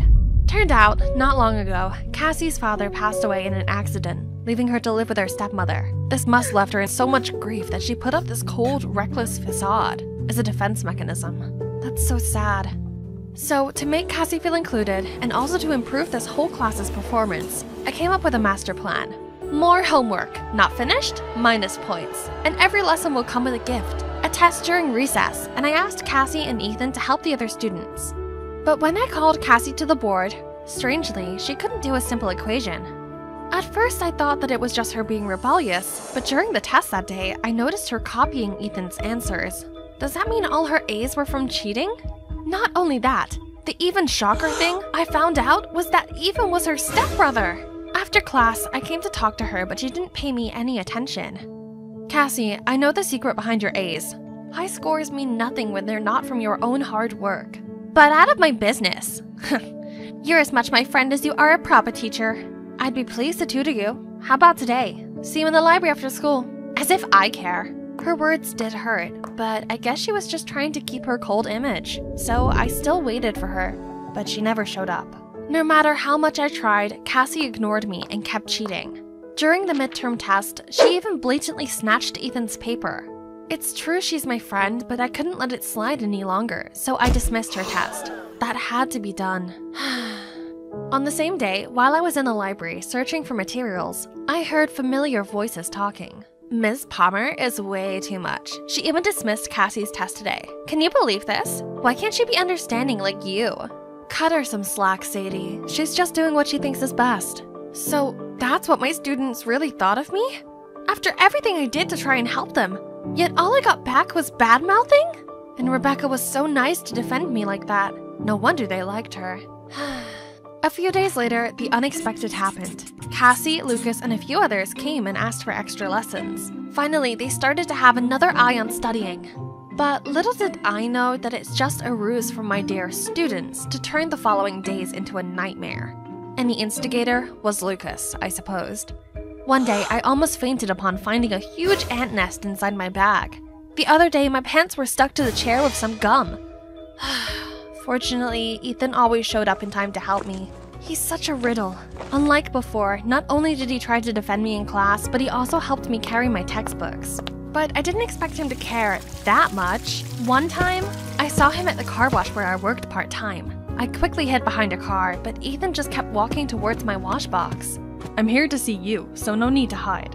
Let me give you a hand. After my shift, Ethan took me home. We talked a lot, and I felt comfortable enough to tell him about my mom's health condition and how I took this part time job to cover her hospital fee. This side of him was far different from the normal, and it was heartwarming. Suddenly, we noticed an elderly lady who seemed lost, so we offered to take her home. And guess what? She's the grandma of the notorious Lucas. I was truly surprised by how much of a rebel like Lucas cared for his Nana. I could tell he really loved her a lot. Poor boy. She's the only family he got now. Lucas, I know studying is not your thing, but have you thought about how happy your grandma would be if you at least tried? Since then, Lucas stopped causing me any mischief, and so did the other students. Now they could even do simple math themselves. Baby steps. Seeing my effort finally bore fruit, I set up a parent meeting to report students' progress. Halfway through my presentation, a photo of me cosplaying as Sailor Moon popped up on the screen. Oh my god, why is it here? How dare you let this childish thing teach my kids? Then she stormed off, followed by everyone else. I thought I finally had my students on my side. Turns out I never did. Then came the last straw, my mom's medical test results. I couldn't help but cry, letting all my bottled up emotions out. Then, suddenly, a hand laid on my shoulder. What's wrong? My mom's health turned worse, and she needs an urgent operation. I'm sorry to hear that. It's all gonna be okay. Be strong, Miss Palmer. I appreciated him comforting me, and when I felt a bit better, we decided to leave. But the door was locked from the outside. It must have been a prank from my students. Again! We tried banging the door and screaming for help, but eventually gave up and waited for someone to come. This quiet atmosphere sure does have a way of making people open up, and I got to know about Ethan. Seemed like both of us have problems with our beloved family. What's yours? I I have a sister. You know who. That I really adore. But no matter how hard I try, she always builds a wall between us. Oh, wasn't this the first time Ethan talked about his personal life? He always put on a cold and distant mask, but I knew deep down he had his struggles too. I was so absorbed in his story that I forgot about being locked up and gradually fell asleep until a buzzing sound startled me, and countless phone cameras were pointing at us. Guys, check your phones. Look what Miss Palmer and Ethan have been doing this whole time. Oh my! A bunch of photos of me and Ethan had been uploaded on the school website, and from some angles, it looked like we were kissing! oh no! I tried to explain, but they just threw me a disgusted look. And why was Ethan just standing here saying nothing? This soon reached the principal. He told me there would be a case hearing for inappropriate relationship with a student. How was this even possible? As I dragged my feet to the principal's office, suddenly I heard familiar voices shouting. Why did you do that? I told you to find her weakness, and look what you got. Nothing. I've done everything I could. What else do you want? Everything? Then why is she still here? As long as she's around, she messes up our cheating stuff, and mom will get my head chewed off for being useless at school. Or is that what you want, brother? What? so, Cassie had been pulling the strings this entire time? And Ethan was her puppet, befriending me just to please his sister. I knew she hated me, but did Ethan have to be so heartless too? Cassie then caught my eye, so I ran away. I was still trying to process this when I walked in to see the school council glaring at me. You're an insult to the teaching profession, which leaves us no choice. I was ready for the worst when Ethan rushed in. Stop! It was me who deliberately jammed the classroom's lock to get back at her for being too strict, but I accidentally got stuck too. There's nothing going on between us. And so, I was cleared of all charges, and Ethan ended up in a week long suspension. Why did he do that after all? After such a long trial, I drove around town to blow off some steam. Then saw Cassie fighting with a security guard. I found out that Cassie stole a bracelet and was refusing to call her parents. The guard said he'd have to call the cops, so I came forward as her teacher to bail her out. Cassie asked me why I helped her, but I didn't bother explaining myself and just left. Since that day, Cassie didn't attend the extra classes. After his suspension, Ethan returned with his offhand attitude. no time to worry about those two. My mission now was to prepare my students for the upcoming finals and regain my prestige. Luckily, they started to take studying seriously and invested a lot in these tests. One day, when I walked into class, some students even asked me to help solve advanced exercises. Two weeks later, when the results came, my excited students all rushed over to me. Miss Palmer, thanks to you, the questions were the same as the ones you showed us the other day, so it only took us a blink to finish. What are they talking about? Before I could understand, the principal summoned me to his office. As I entered, he angrily showed me the math sheet that I was allegedly teaching in the extra class. What kind of work ethic allows leaking exam questions, Miss Palmer? Leak the test? Me? No! Please! No more excuses. You're fired. No, no! They can't punish me for something I didn't do. Someone must have framed me. I asked my students where they got that piece of paper, and they said it was already on the table when they came to class. So Cassie and Ethan must have been behind this. Good job, Ethan, for putting up their remorse act just to set up a bigger plan to humiliate me. Okay then, they won. Unemployed and desperate, with hospital bills to cover, I had to work full time at the car wash, as well as taking night shifts at 7 Eleven. But besides the measly wages, was a bonus of rotten eggs and tomatoes, scornful looks, and snarky comments saying I didn't deserve the teacher title. the scandal truly turned my life upside down. Then, when I was at the hospital with my mom, suddenly Ethan rushed in and said he would clear my name. Clear my name? Wasn't he the one who put dirt on me? What was he playing this time? With nothing to lose, I reluctantly went with him. He led me to the school's control room. The principal was also there. Then I saw Sadie standing on stage. Ethan said it was her who discreetly put the math sheet on the table. What? But Rebecca? I distributed the test like you said, but I'm scared. What if someone finds out?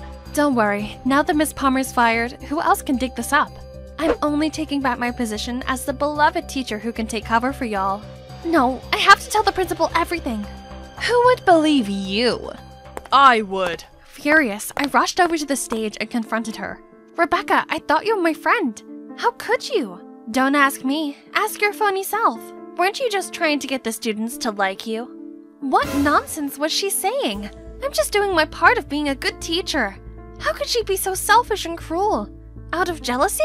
Miss Palmer earned her students' respect with her pure heart. Look at you. The so called love you have comes from buttering them up with all your lies. That's why they turn stubborn and make light of studying. I never knew you were that kind of person. How could you call yourself a teacher? The principal couldn't hide his rage, fired Rebecca, then apologized to me and offered me my job back. But after all these troubles, this school had completely drained me. I couldn't take it anymore, so I refused. As I was wiping away my tears, Ethan came to my side. Miss Palmer, I'm sorry for everything I did. I just tried to please Cassie, but now I know I was only hurting you. I've already known about that. I was about to leave when a group of students led by Cassie approached us. Then Ethan told me it was Cassie who helped him with the plan to bait Rebecca into admitting her actions. Sorry for all the horrible things I did to you. Please stay. We've learned a lot since you moved here. Please don't leave us. Such a crazy term. I ended up staying. I mean, this is my dream job after all, and I'm not one to give up that easily. I also talked to Cassie's stepmom about her studying. Turns out she didn't realize her strict approach was causing a rift between them all. Cassie, Ethan, and their mom had a talk, and now they seem to understand each other better. I was so happy for them, and we became friends after that.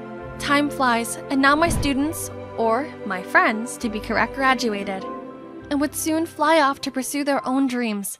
Suddenly, Ethan dragged me to a corner. So from now on, we're no longer teacher and student, right? I guess, but so. But could you still teach me? Teach me how to love you.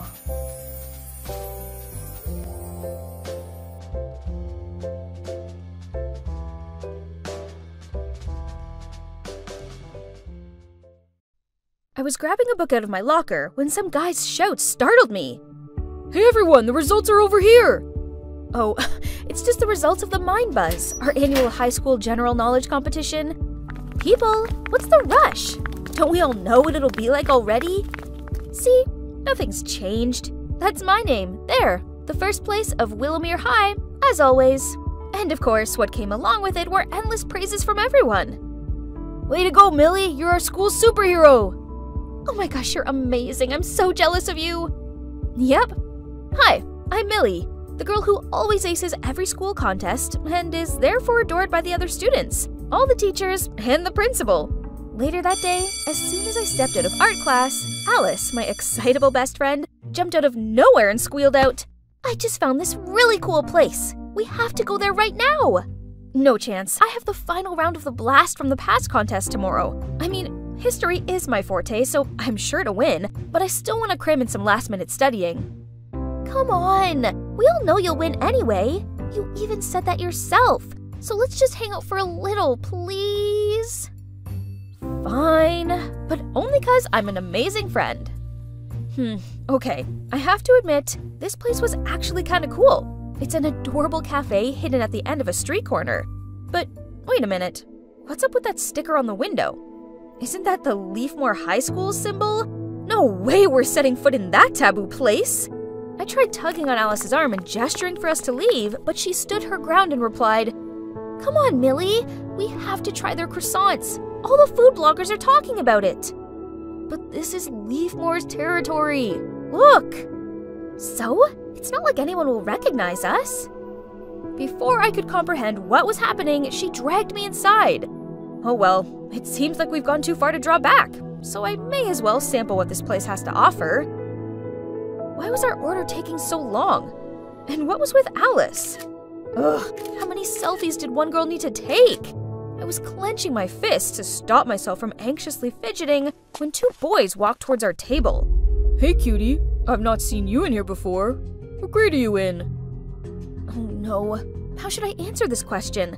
I quickly turned away, pretending to rummage through my bag to avoid his gaze. But they still didn't leave me alone, as the other guy said, Wait, this girl doesn't seem to be from our school. Are you? Oh, snap! Did he recognize me? My skin turned clammy with nerves and I thought I was gonna throw up. Then suddenly a voice rang out. Sorry I'm late. Have you been waiting long? Then he plonked himself down next to us. Seeing that, the two guys left. Phew! But who is this guy? Do we know him?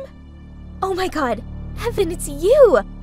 Mmm. Is that the new Calvin Klein cologne? It smells amazing on you. Huh? Evan? As in, Evan Summers? The top student in Leafmore, aka my biggest competition in tomorrow's contest? To Alice's excitement and my puzzled look, Evan just lightly smiled, then got up to leave. He's indeed a cold angel. What? All he was to me was arrogant. You're probably wondering what the deal between Willowmere and Leafmore is, right? They're the two biggest high schools in this town, but like the same poles of magnets, they repel each other. The two schools have been rivals since forever, competing with each other from academic achievements to collective activities. In competitions organized by the town, such as marathons, Halloween decorations, or even cooking contests. And of course, the students from both schools despise each other so much that we have boundaries in town. For example, this cafe is only for Leafmore students, while only Willowmere students are allowed in that bookstore. Breaking these rules could lead to outright carnage. The schools take this super seriously. Hence, there's even a rule saying we can't interact with each other. And dating is a real no no. You see, as the top student in Willowmere, I can't let anyone find out I've stepped foot in Leafmore territory, as if they do, my life won't be worth living. And also, because of my number one position, I have a responsibility to help my school win as many prizes as possible. And this history contest is no exception. I anxiously waited for the host to announce the results. And the last 20 points go to Leafmore High School, which makes them the winners of today's contest. From the other side of the hall, the Leafmore students erupted into applause, and they all charged at Evan and hugged him. Seeing the arrogant Evan with a triumphant face made me even more upset. Congratulations, you were amazing! Alice, we lost! Only by five points. Second place is still good but it was me who was defeated by that Evan. Poor Alice is still trying to keep her shy smile at me. I didn't want to take it out on her either, so I quickly left. The next day, I was walking along the school corridor, minding my own business, when I passed a group of students gossiping about me. She defo lost the quiz on purpose. Yeah, her question was so easy. Everyone knows that the first US dollar was printed in 1862. Why were they saying such mean things about me? I tried my best to ignore their jibes and distract myself with my phone, but what is this? Someone had uploaded a picture of me, Alice, and Evan all sitting together in that cafe the other day. Oh no. And worse still, from this angle, we all looked kind of close. Furious, I went to leave, but Polly, this annoying girl, blocked my way and mocked me. Millie, if you don't like this place, you could have transferred schools. Losing to Leafmore on purpose is just embarrassing. I did no such thing. Not that it's any of your business. I hurried away from her and her smirking friends. The problem is, it seemed like the entire school had seen that picture and concluded that I'm a traitor. At least things couldn't get any worse, right? Wrong. My bad luck continued when I got my English lit essay back. A B minus. This can't be right. I never get anything lower than an A. Ever! I was checking through my test when suddenly there was an announcement on the speaker, asking me to come to the principal's office. Millie, you're usually such an excellent student, but I've received some unpleasant news about you recently, and your grades are slipping significantly. I could only stare down at the floor and mumbled, I'm really sorry. I'd never been scolded by the principal before. This was the worst day of my life. Miss Garcia was silent for a moment before she continued. However, I still have faith in you, so I'm giving you one last chance to prove yourself. The town's hosting a Rube Goldberg machine camp and our school must win. Can you make that happen, Millie? I forced a smile and nodded. No problem, ma'am. The first prize will be ours. Trust me! This is my chance to show everyone that I'm devoted to this school. However, there's one teensy tiny problem. Physics is not my forte. It's alright, I just gotta do my best, right? I spent the next two weeks planning, researching, and testing out ideas with my group. We finally managed to create the perfect Rube Goldberg machine. It includes 15 genius steps to complete the final task. We're surely gonna secure all these bonus points. Finally, the camp weekend arrived, and I was super stoked to show off my team's entry. Tomorrow will be it. I'll get Willowmere's name back on top again. Then suddenly, Miss Garcia tapped my shoulder and gestured me over to an empty corner and worriedly said, Leafmore's machine is highly praised by the judges. At this rate, they're most likely to win, and that'll mean humiliation for us. Don't worry, I'm trying my best. We'll add some extra magnets and springs. It's no use. The only way we'll win over Leafmore is if their entry encounters problems. She sighed, then turned to leave. Feeling deflated, I stared down at my feet. That's when I saw a pocket knife, with Miss Garcia's name printed on it, lying on the ground. I picked it up and called out, Miss, you dropped your knife! But Miss Garcia didn't stop walking or turn back, and just did a snipping gesture with her fingers. Could it be that Miss Garcia meant. Yep, definitely. That's the only way. So that night, I waited until everyone else was asleep, then I snuck into the gallery and cut a piece of wire holding the light bulb of Leafmore's model. That should be enough. I was about to leave the room when suddenly the lights came on. What are you doing here? I. I. You just did this, didn't you? Um. Yeah? So what? Go ahead, tell on me if you want. This is all so meaningless. Then he sat down and started fixing his model. Huh? What's meaningless? Good God, he's so full of himself. Fine then. Just you wait, Evan. I'll beat you with my own talent. Let's see if you'll still be Mr. Arrogant then. It was my team's turn, and for the first three steps, the Rube Goldberg machine worked quite smoothly. But when it came to the fourth step, suddenly the wooden slide collapsed, causing the marble to fall to the ground and the machine to stop working. We all stared at each other in panic. No, no, no, this couldn't be happening! We tested it many times this morning and it had worked perfectly fine. I rushed over to check what was wrong with the machine, but I struggled and couldn't find a way to fix it. When suddenly a voice said, Let me see. I looked up. It was Evan. I stepped aside to make room for him when suddenly Miss Garcia appeared. I see what's happened here. Clearly, Leafmore High knew the only way they'd win was by sabotaging the best entry. The whole hall started to stir, but I felt my skin prickle with unease. I didn't think this was Leafmore's doing. Look at Evan. He didn't even bother telling the judges about last night's incident. Immediately after that, Leafmore's principal, Miss Harris, said, Miss Garcia, you can't go around accusing us without proof. Clearly, you're the one who feels the need for underhand tactics to win, not us. Then she held out her phone and circled the crowd so everyone could see. I gasped in shock. There on the screen was a picture of me standing next to Leafmore's model with a knife. Miss Harris continued. Seeing as we managed to fix it in time, we decided not to mention anything else about it. But then you dared to accuse us. The crowd glared and tutted at me, and I longed for the floor to swallow me whole. I put blood, sweat, and tears into creating our model, and now people just thought I was a cheat. The worst part was they were right. I was one. The jury went off to discuss this. Then they announced their conclusion. Willowmere had been disqualified. Immediately, Mrs. Garcia piped in. This is hardly fair. That was the action of one individual, not the whole group. I assure you that Millie is no longer on the team, so let my school continue to compete without her. I froze in shock. How could Miss Garcia do this to me? It had been all her idea, hadn't it? She'd given me the knife. The realization of what just happened hit me, and I fell to my knees and burst into tears. All that hard work, and for nothing. Even Alice hugging me in comfort didn't release me from my gut wrenching, sinking feeling. Then, to my surprise, Evan said, Mrs. Garcia, can you explain why I found this knife with your name engraved on it next to our model? He raised the knife up for everyone to see. Oops, In all the stress of last night, I must have dropped it.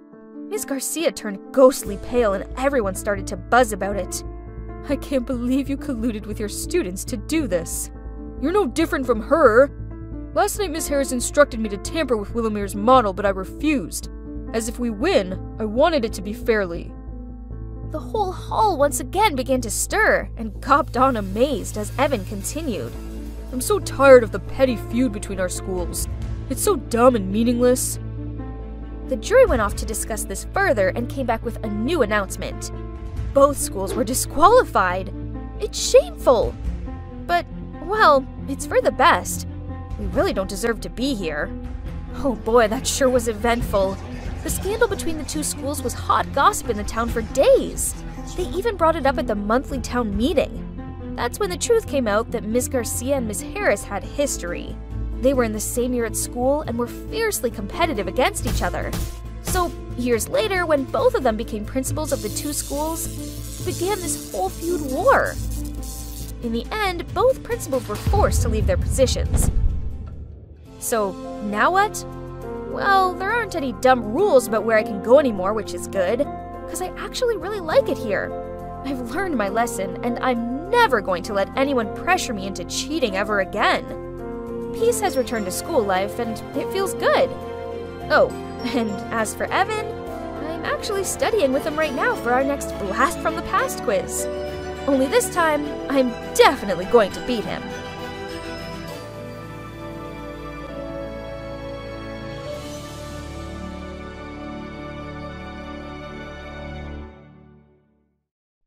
Oh God! Can I not save one from the pitiless wave? Is all that we see or seem but a dream within a dream? According to the poet, this world and all existing life is an illusion of sorts. As reality doesn't exist, philosophers refer to it as dream argument and dream hypothesis. What? What an interesting lesson! By the way, look at how there's a ray of sunshine coming through the curtains. That's so pretty. This kind of weather indeed puts you in such a dreamy mood, huh? Yeah, right. But remember, there is no rose without thorns. That sunshine may look glorious, but it will harm your eyes. Yeah, I know. The maids always tell me that sunlight is the enemy for me, for my beautiful, sensitive blue eyes. Looking at it once, and I'll never be able to see anything again. That's why I've never been allowed to leave this castle. My maids all look identical in those masks, don't they? When I was a child, of course, I once got curious, and I pulled one of them off. As punishment, I was denied dessert for a whole week. And worse still, it wasn't worth it, as the maid's face was exceedingly ordinary. The masks looked far better. Anyway, I suppose all that matters is that they take great care of me. Each day they bring me food, water, and new clothes. I was sipping my leek and potato soup when I heard a scream. Let me out! Curious, I went and hid in a corner and saw two maids attempting to lock the screaming girl into a room. Hmm, I've never seen that girl in this castle before. I wonder if she's from the outside world. Poor her. It looks like she can't control herself. The world out there is scary. Perhaps it has sent her into madness. It's much safer here in the castle.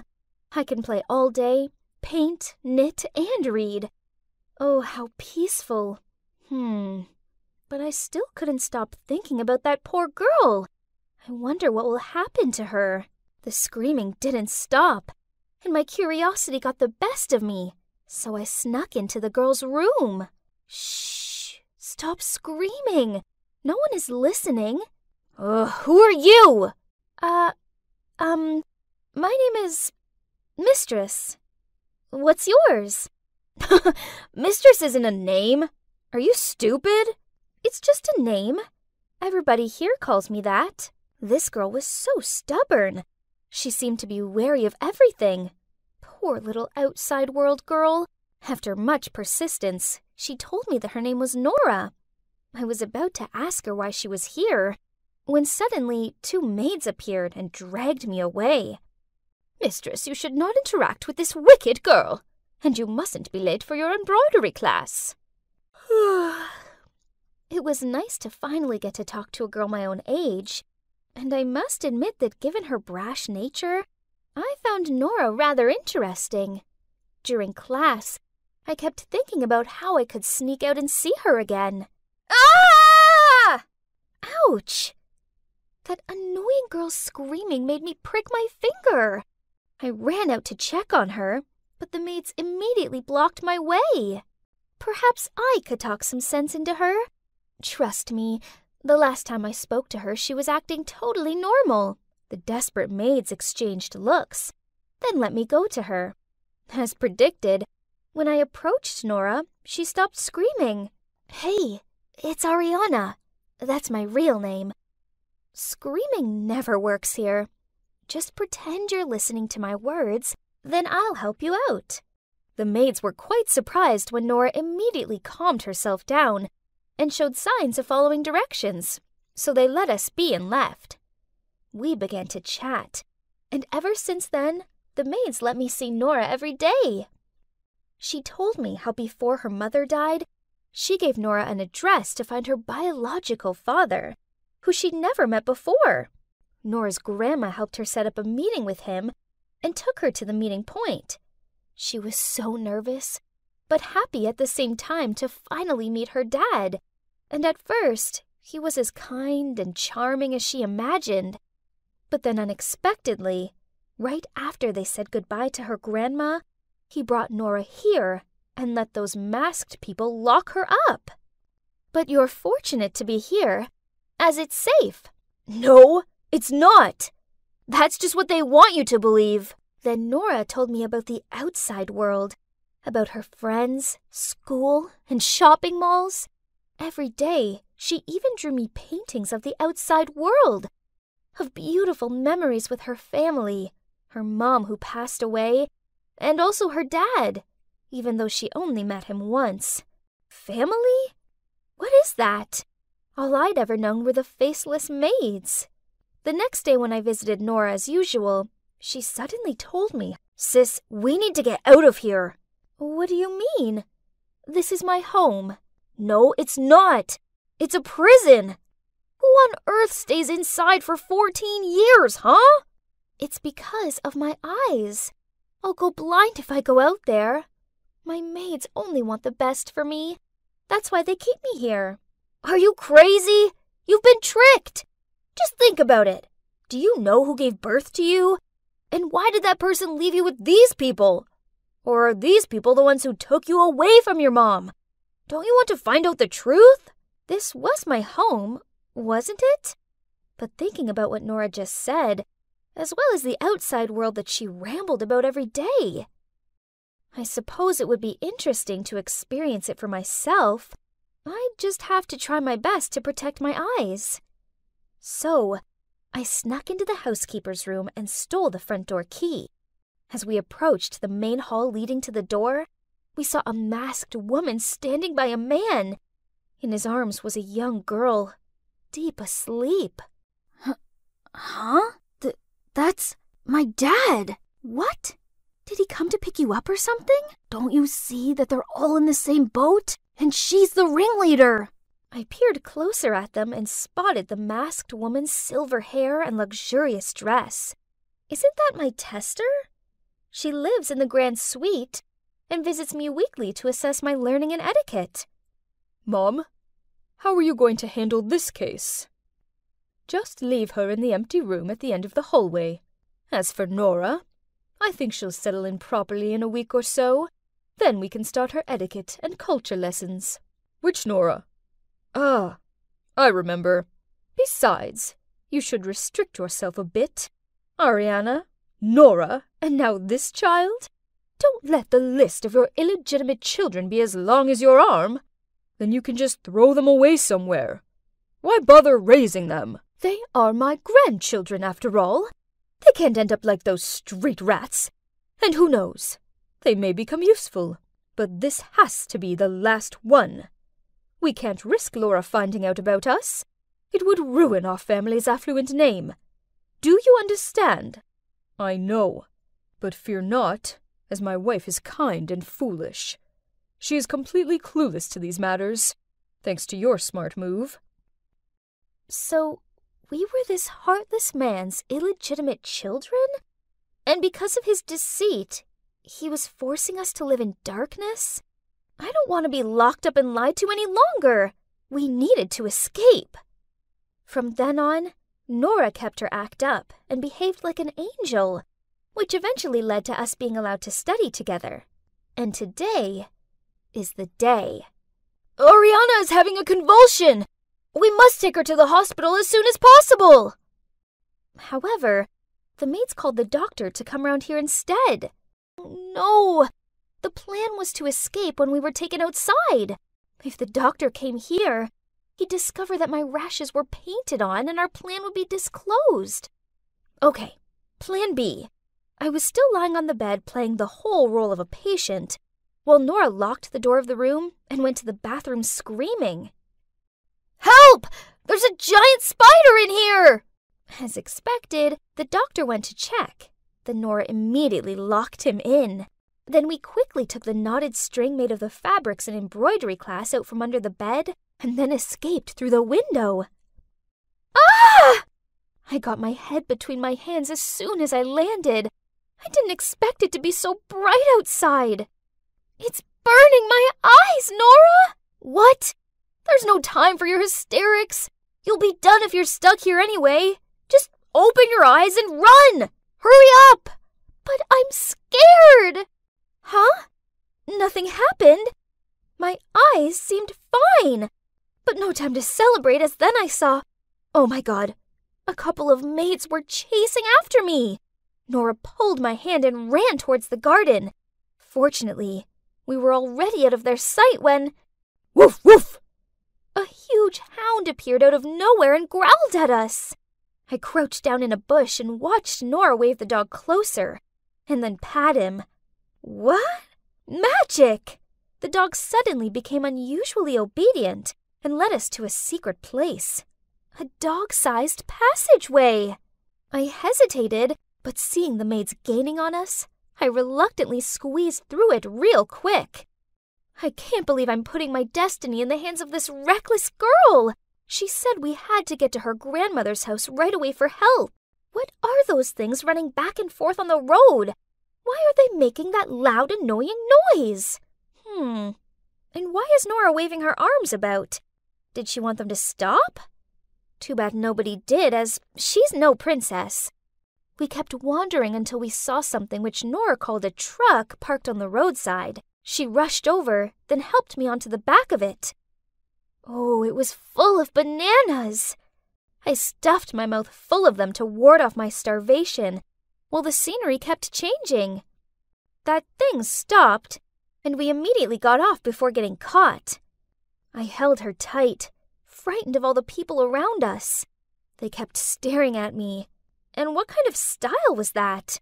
They all looked very peculiar. Maybe they were just commoners. Then we used our power to demand a man to take us to Nora's grandma's. Oh, it was exhausting. What?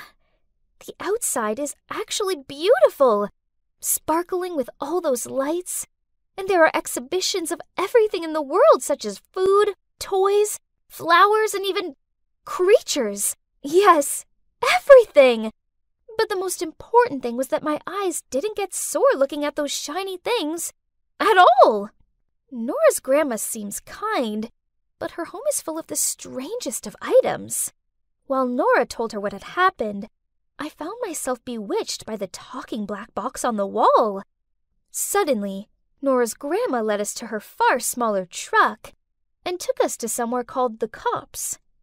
They all wore these same funny outfits and bombarded us with dozens of confusing questions. And what exactly is an ID card? A few days later, there was news that the cops had caught my so called dad, grandma, and maids also. As predicted, he was a womanizer, so when his lovers asked him to support his children, he was so afraid that his wife would find out that he took these children and locked them away in the castle. They're currently awaiting something called a trial, which Nora says is where bad people get their comeuppance. Whoa! The world outside is so busy! I didn't realize there'd be so many unmasked faces. And that strange talking box still startles me, especially when someone is holding a weapon. Nora says when I've adjusted to my new life a little more, I'll start school with her. And one day I'll even learn how to drive one of those smaller trucks. But firstly, she's teaching me how to dress like other people do and use this brick to communicate with them. This world is puzzling, but I'm sure with Nora's help, I'll soon find my feet. Even if it's just so I can learn how to reply to my dashing neighbor.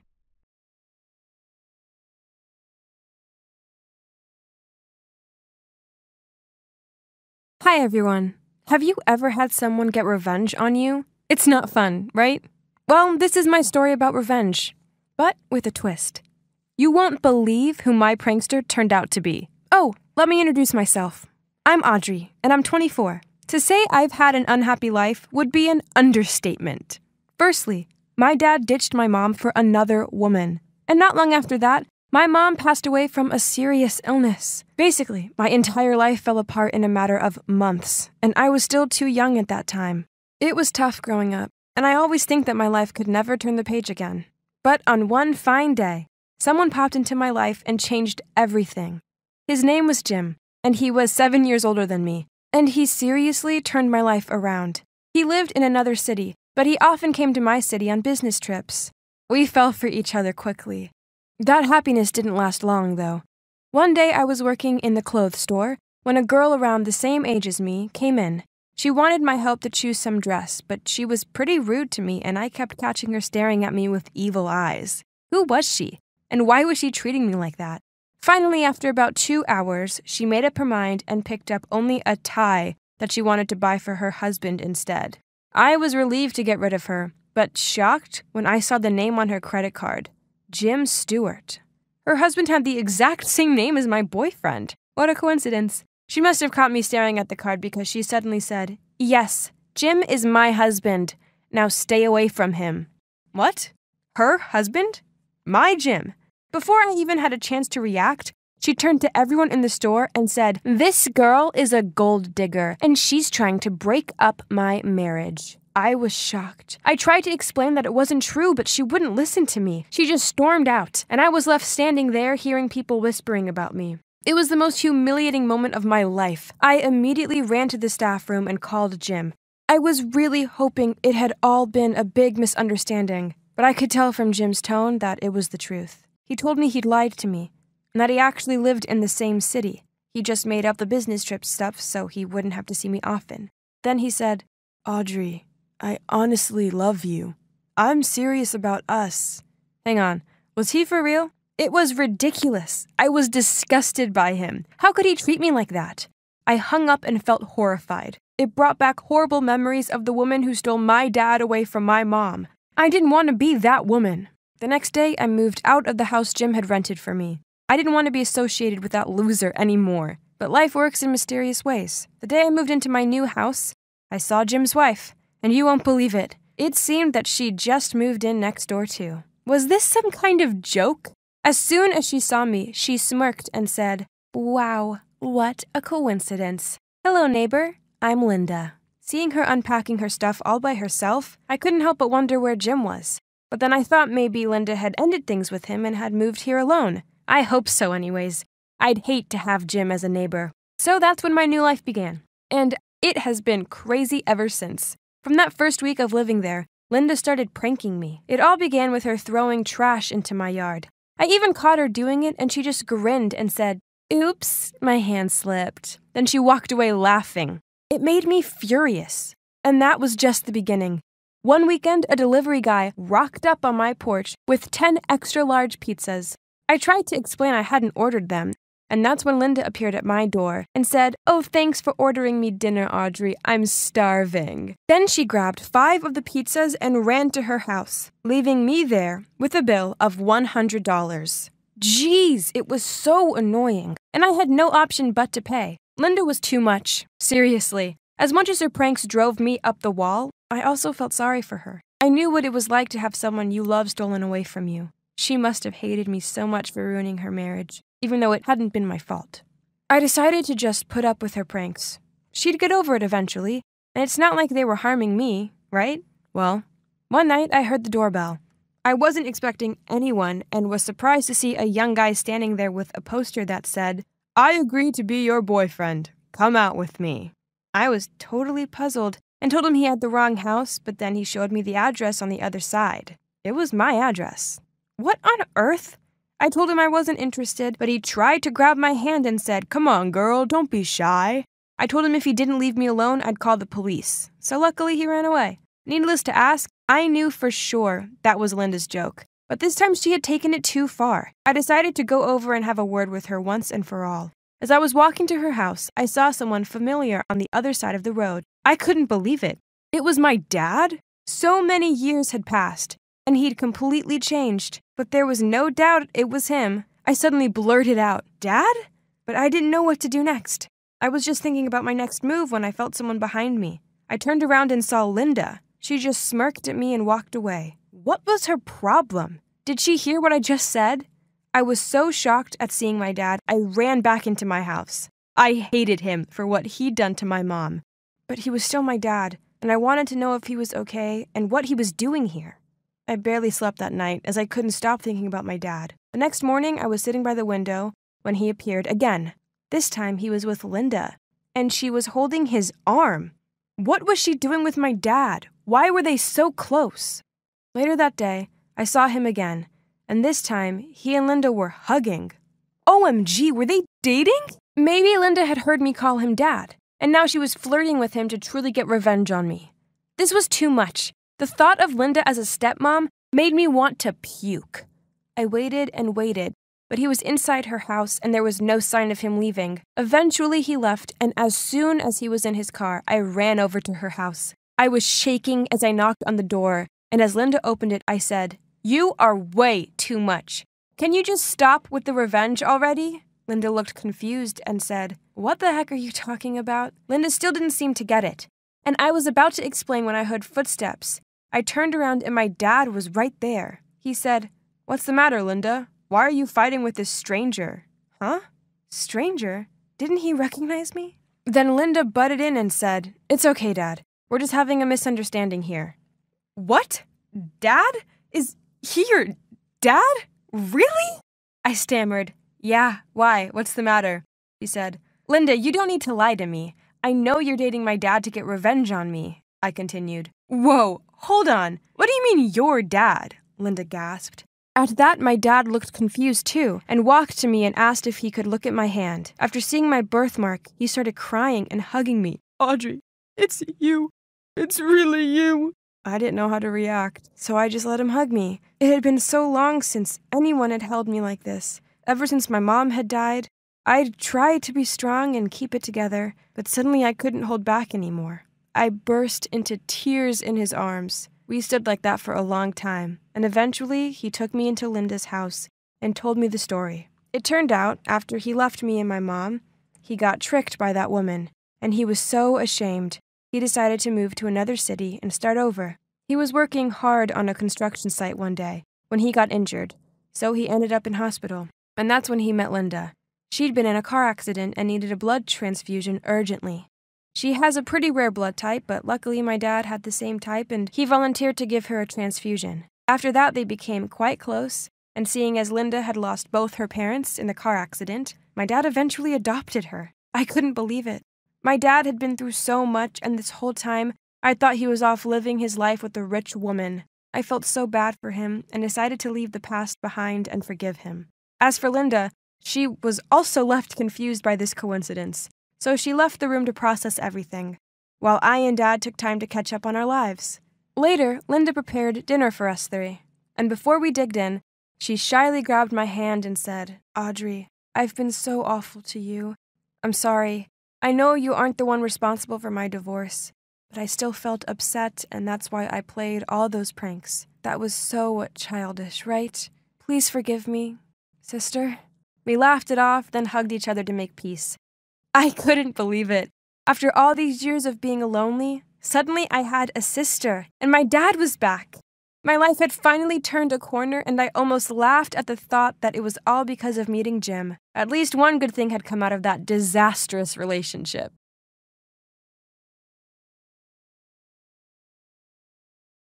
Oh, I've never been in a negotiation that lasted this long before. I've been here since three, and it's now eight. Worse still, I hadn't even mentioned the funding yet. I've tried, but it was Dane's fault. He kept on interrupting me and going off topic. As I looked at Dane, who was currently reenacting a soccer game with condiments, I wondered how on earth was he a part of the student council. He might have been a senior, but he was an average grade student who didn't seem to excel at anything. He also exaggerated everything and mainly just messed around. I should never have agreed with Dane to arrange the meeting here. Not only had I wasted five hours of my life, but it looked like the funding was a no deal. I couldn't take any more of this. Remind me never to listen to Dane ever again. I grabbed my bag and was about to stand up when Mr. Johnson turned to me. Ruth, I love your idea. Funding all of it would be a bit of a stretch, but I can go to 80%. And if it becomes a yearly thing, I'll be happy to continue sponsoring it. I stared at him open mouthed. Did I hear him right? Mr. Johnson, the owner of the local music shop, was actually agreeing to provide a big chunk of the funding for our student talent show? By the way, I like this Dane guy. Today's been fun. Dane wooed, Yes, it's a and enthusiastically shook Mr. Johnson's hand. Wait, I was supposed to be the one to close the deal. Never mind. We had the funding. This was amazing. We did it! Dane punched the air. Hey, um, how did you? He gave a Cheshire cat grin as he replied, Never expected that, did you? What do you think of me now, Ruth, the new president? I shrugged and laughed. Hey, how about a celebratory hug, huh? He lunged at me with open arms. Well, why not? This deserved a celebration after all. We were jumping up and down, and I don't know, maybe I was delirious from the stupidly long meeting or something. But the next thing I knew, we were kissing. OMG! We immediately pulled away from each other and awkwardly looked the other way. After that, he drove me home in silence. Oh no, what was I thinking? Why did I, or anyone breathing, do that? It was Dane. Dane! Can you believe it? Well, okay, I suppose it'd been a difficult couple of months for me. As soon as I became president of the student council, my boyfriend Walter didn't congratulate me. No, instead, he broke up with me. We'd been together for two years, but recently he'd spoken about marriage and buying a house. Um, not yet. I want to focus on my career first. But I guess me applying to the Students' Council and being all busy bee with work frustrated him even more. Now, I tried to distract myself with studying and council work, but I felt like I was getting ever closer to the edge of a cliff one with hungry sharks circling the bottom. Ugh. And then there were the rumors being spread around school about me. Ruth's just a freshman. She won't be able to hack the pressure. And Ruth's so serious and boring. So I started working harder and harder to prove myself. Hence the talent show project. Only, geez, I was so exhausted, both mentally and physically. This funding news was fantastic. But what was going on with Dane? Maybe he has some kind of secret power of attraction or something. Anyway, after that incident, he flooded me with calls and messages, even though I was crazy busy. After the 12th call in a row, I stopped writing my essay and answered with an annoyed, What? Hey there, how are you feeling about the weather today? My name is Ruth, not there, and I don't care about the weather, I'm busy. Busy enough to correct my words like that? I don't think so. Ugh, fine. I agreed to go out for a quick coffee with him just so he'd stop bugging me. I stirred my spoon around my coffee as I glared at him and said, Will you stop calling me? I need to study. He stuffed the majority of his muffin into his mouth and took ages to chew it. Then he wiped his mouth onto the back of his arm and said, You do realize all the other council members call you Military Ruth, right? Try not to be so difficult and chillax once, will you? Wow, that sucked. I didn't expect to be liked by everyone, but I was working my butt off for the council, so they could at least appreciate what I was doing for them. I cleared my throat. I don't care. Work is work. I didn't become the president to make friends. But I know you're not like that, Dane continued. You might be going through a tough time. Still, you're the most stunning person I've ever met. My face brightened up, even blushed. What did he just say? You're beautiful, strong, and independent. He reached out and took my hand, and I tried to ignore the fact it was sticky from his muffin. Ew. I must be the luckiest guy ever to date a girl like you, Ruth. Those other girls are just jealous of you. I mean, you have this hunk, and they don't. Hold up. He said what? Date? I gave him a disgusted, who do you think you are look.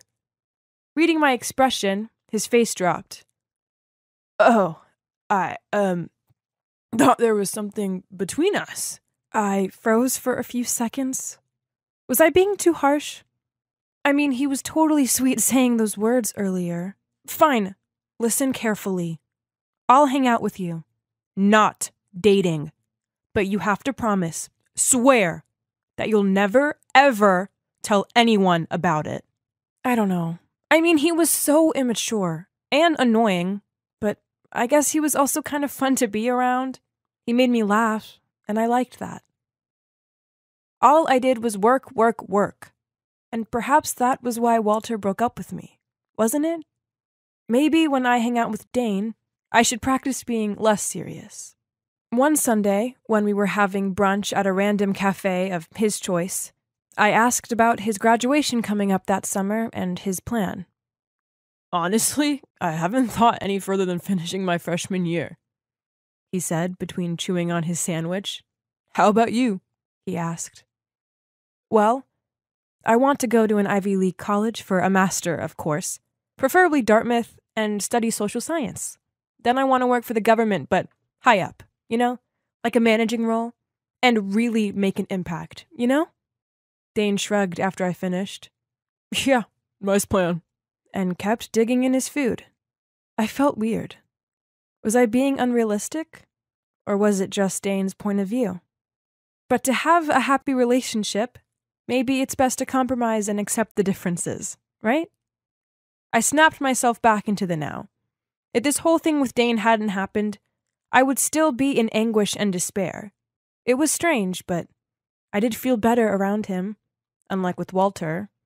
So I should respect his opinions. Gotta learn from my mistake, right? One day, I was at a council meeting planning a fundraiser for the remainder of the talent show money. I decided it was time people saw the real Dane, so I made him event organizer. But this didn't go down well. As in the other council members' eyes, Dane was a lazy, idiotic puppet. Give him a chance. He's the one who persuaded Mr. Johnson to fund the talent show. Please, we never know other people's limits and abilities. Then this girl, Catherine, sarcastically said, Of course, you'd know his ability since he's your boyfriend. You suck at leading. All you care about is your personal feelings. I know. I'll date you. Then I may actually get given a job I deserve. My tongue was tied. I couldn't find a word to defend myself. And at the same time, I was really, really mad at Dane. And worse still, he hadn't even bothered showing up for the meeting. Afterward, I went round to Dane's house and furiously banged on the door. Yelled at him the moment he opened it. How come people know that we've been hanging out? Dane silently scratched his head, eyes open wide, and stared awkwardly at some random spot. Answer me! I continued, but still no reply. I pointed my finger at his face.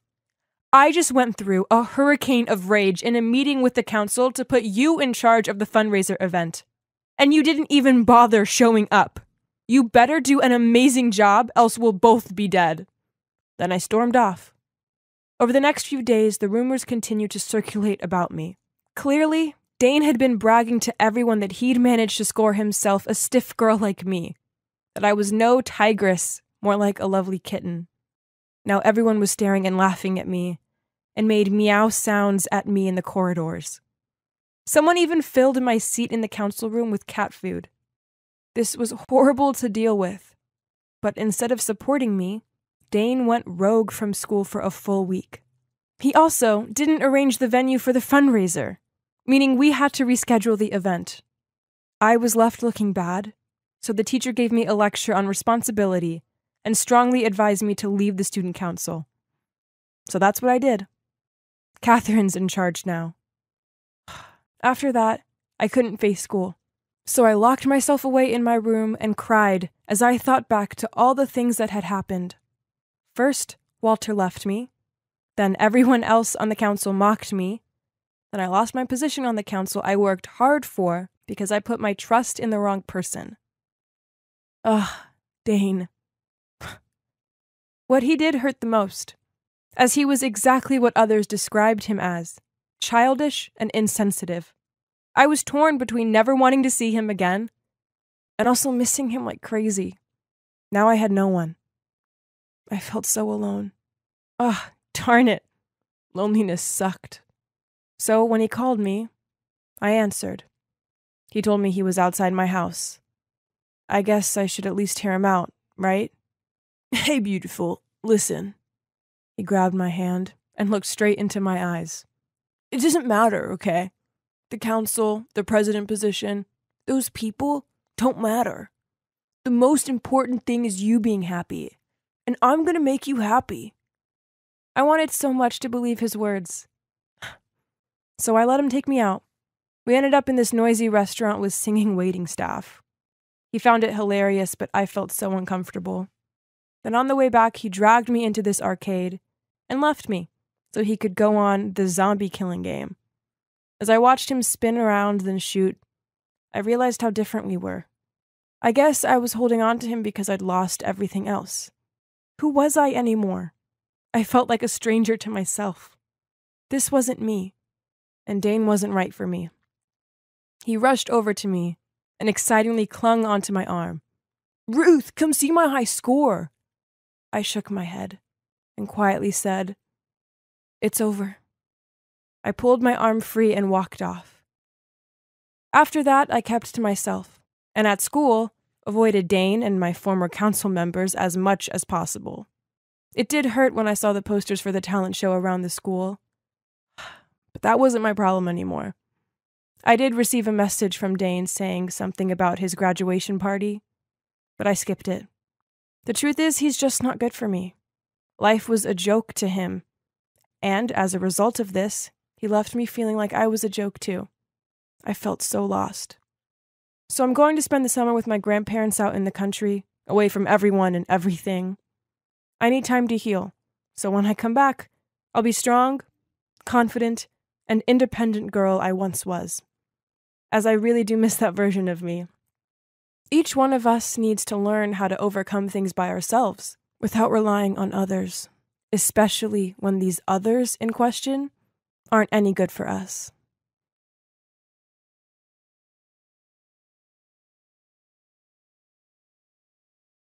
It was a normal, boring day in the grocery store.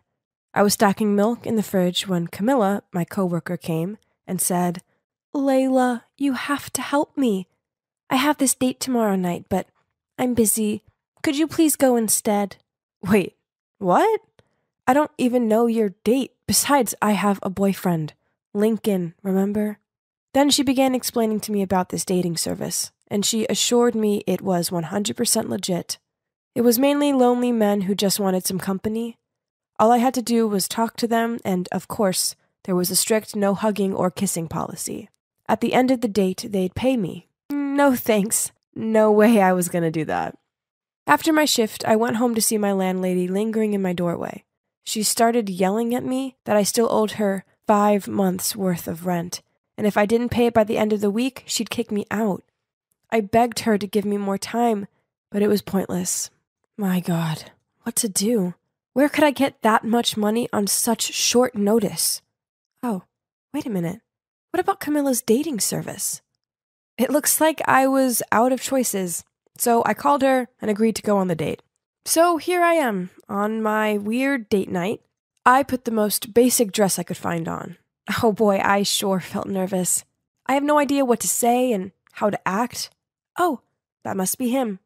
My god, Camilla! How could she forget to mention that the guy was in his 50s? People would think he's my sugar daddy. Ugh! Keep it together, Layla. I couldn't back out now, as my home depended on it. So, I slowly approached the man. At first, he looked surprised. That figures. I mean, he was expecting Camilla. I explained the situation to him, and he wasn't mad or anything. He just smiled at me, and we started chatting. He's called Mr. Hall. He lost his wife two years ago, and ever since then, he's been feeling lonely and needed someone to talk to. So that's why he started using this service. Hmm. He was actually pretty easy to talk to so the night quickly went by without any problem. After the date, he handed me an envelope and told me how grateful he was to me for listening to his burdens. I was itching to go home and open the envelope, but then he started going on about his heartbroken son. Suddenly, he was asking me if I talked to him. Obviously, I refused as this was a one time thing to help out Camilla. Besides, I have a boyfriend. Speaking of which, he'll be so furious if he ever finds out about this.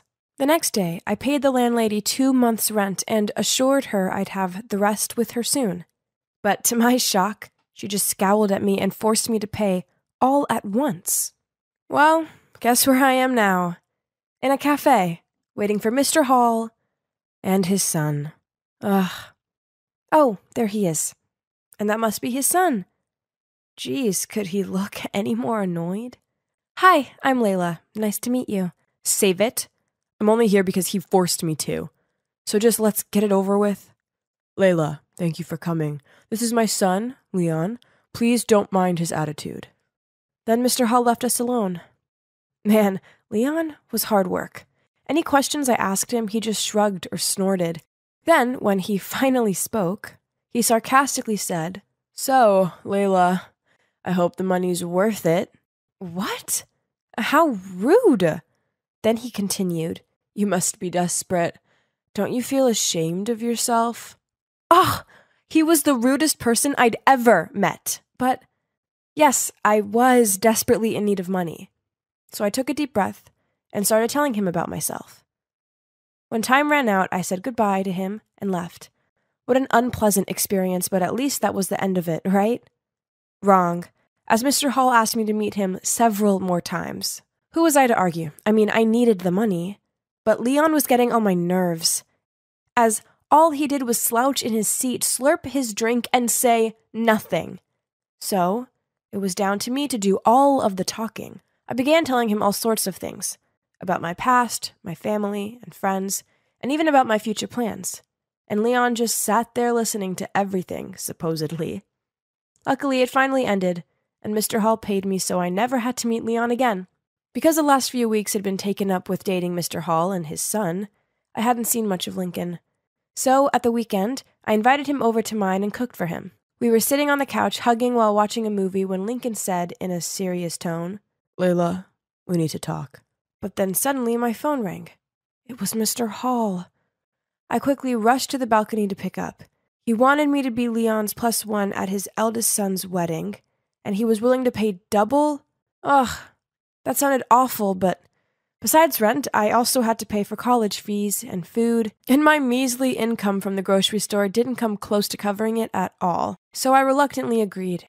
When I returned inside, I asked Lincoln what he wanted to tell me. He hesitantly said that he had to go on a business trip for two weeks. Well, maybe it was for the best, so I could go with Leon without worrying about my boyfriend.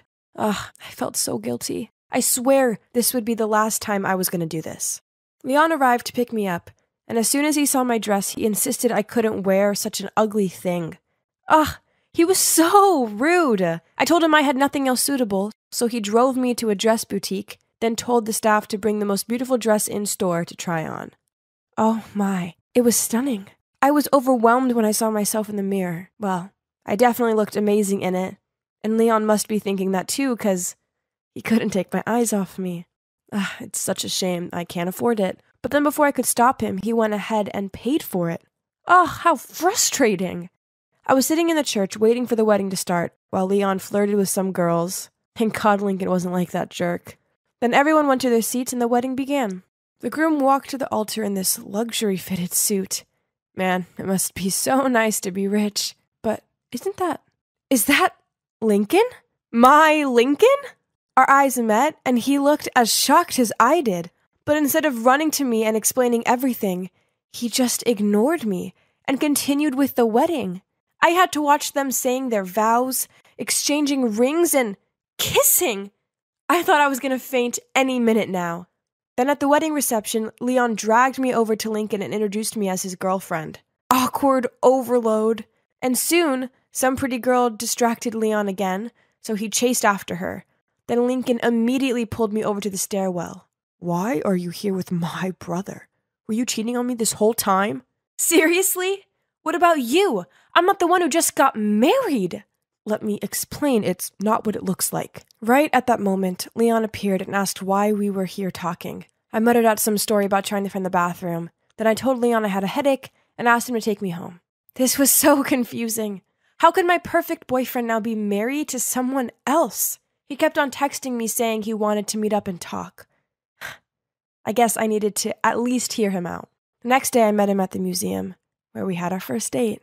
So, his wife, Sandra, is a daughter of an affluential businessman who owns one of the biggest corporations in town. Lincoln's family company is in big debt, so his dad forced him to marry Sandra in order to save the company. Believe me when I say I don't have any feelings for Sandra. It's just business. I only love you. Please don't leave me. I promise, as soon as the company is back on track, I'll file for divorce. Yeah, I know you probably think I'm crazy, but I still love him too. Besides, if the marriage is only temporary so he can save this family business, then that's understandable, right? He kissed me goodbye and left. But after that, Lincoln changed. Every time I texted and called him, he told me he was busy and would call me back. But he never did. I guess married life was preoccupying him. As if this wasn't frustrating enough, I had to put up with Leon. He kept on appearing at my place and bothering me. One time he showed up drunk, complaining about his ex girlfriend, who'd just married someone else.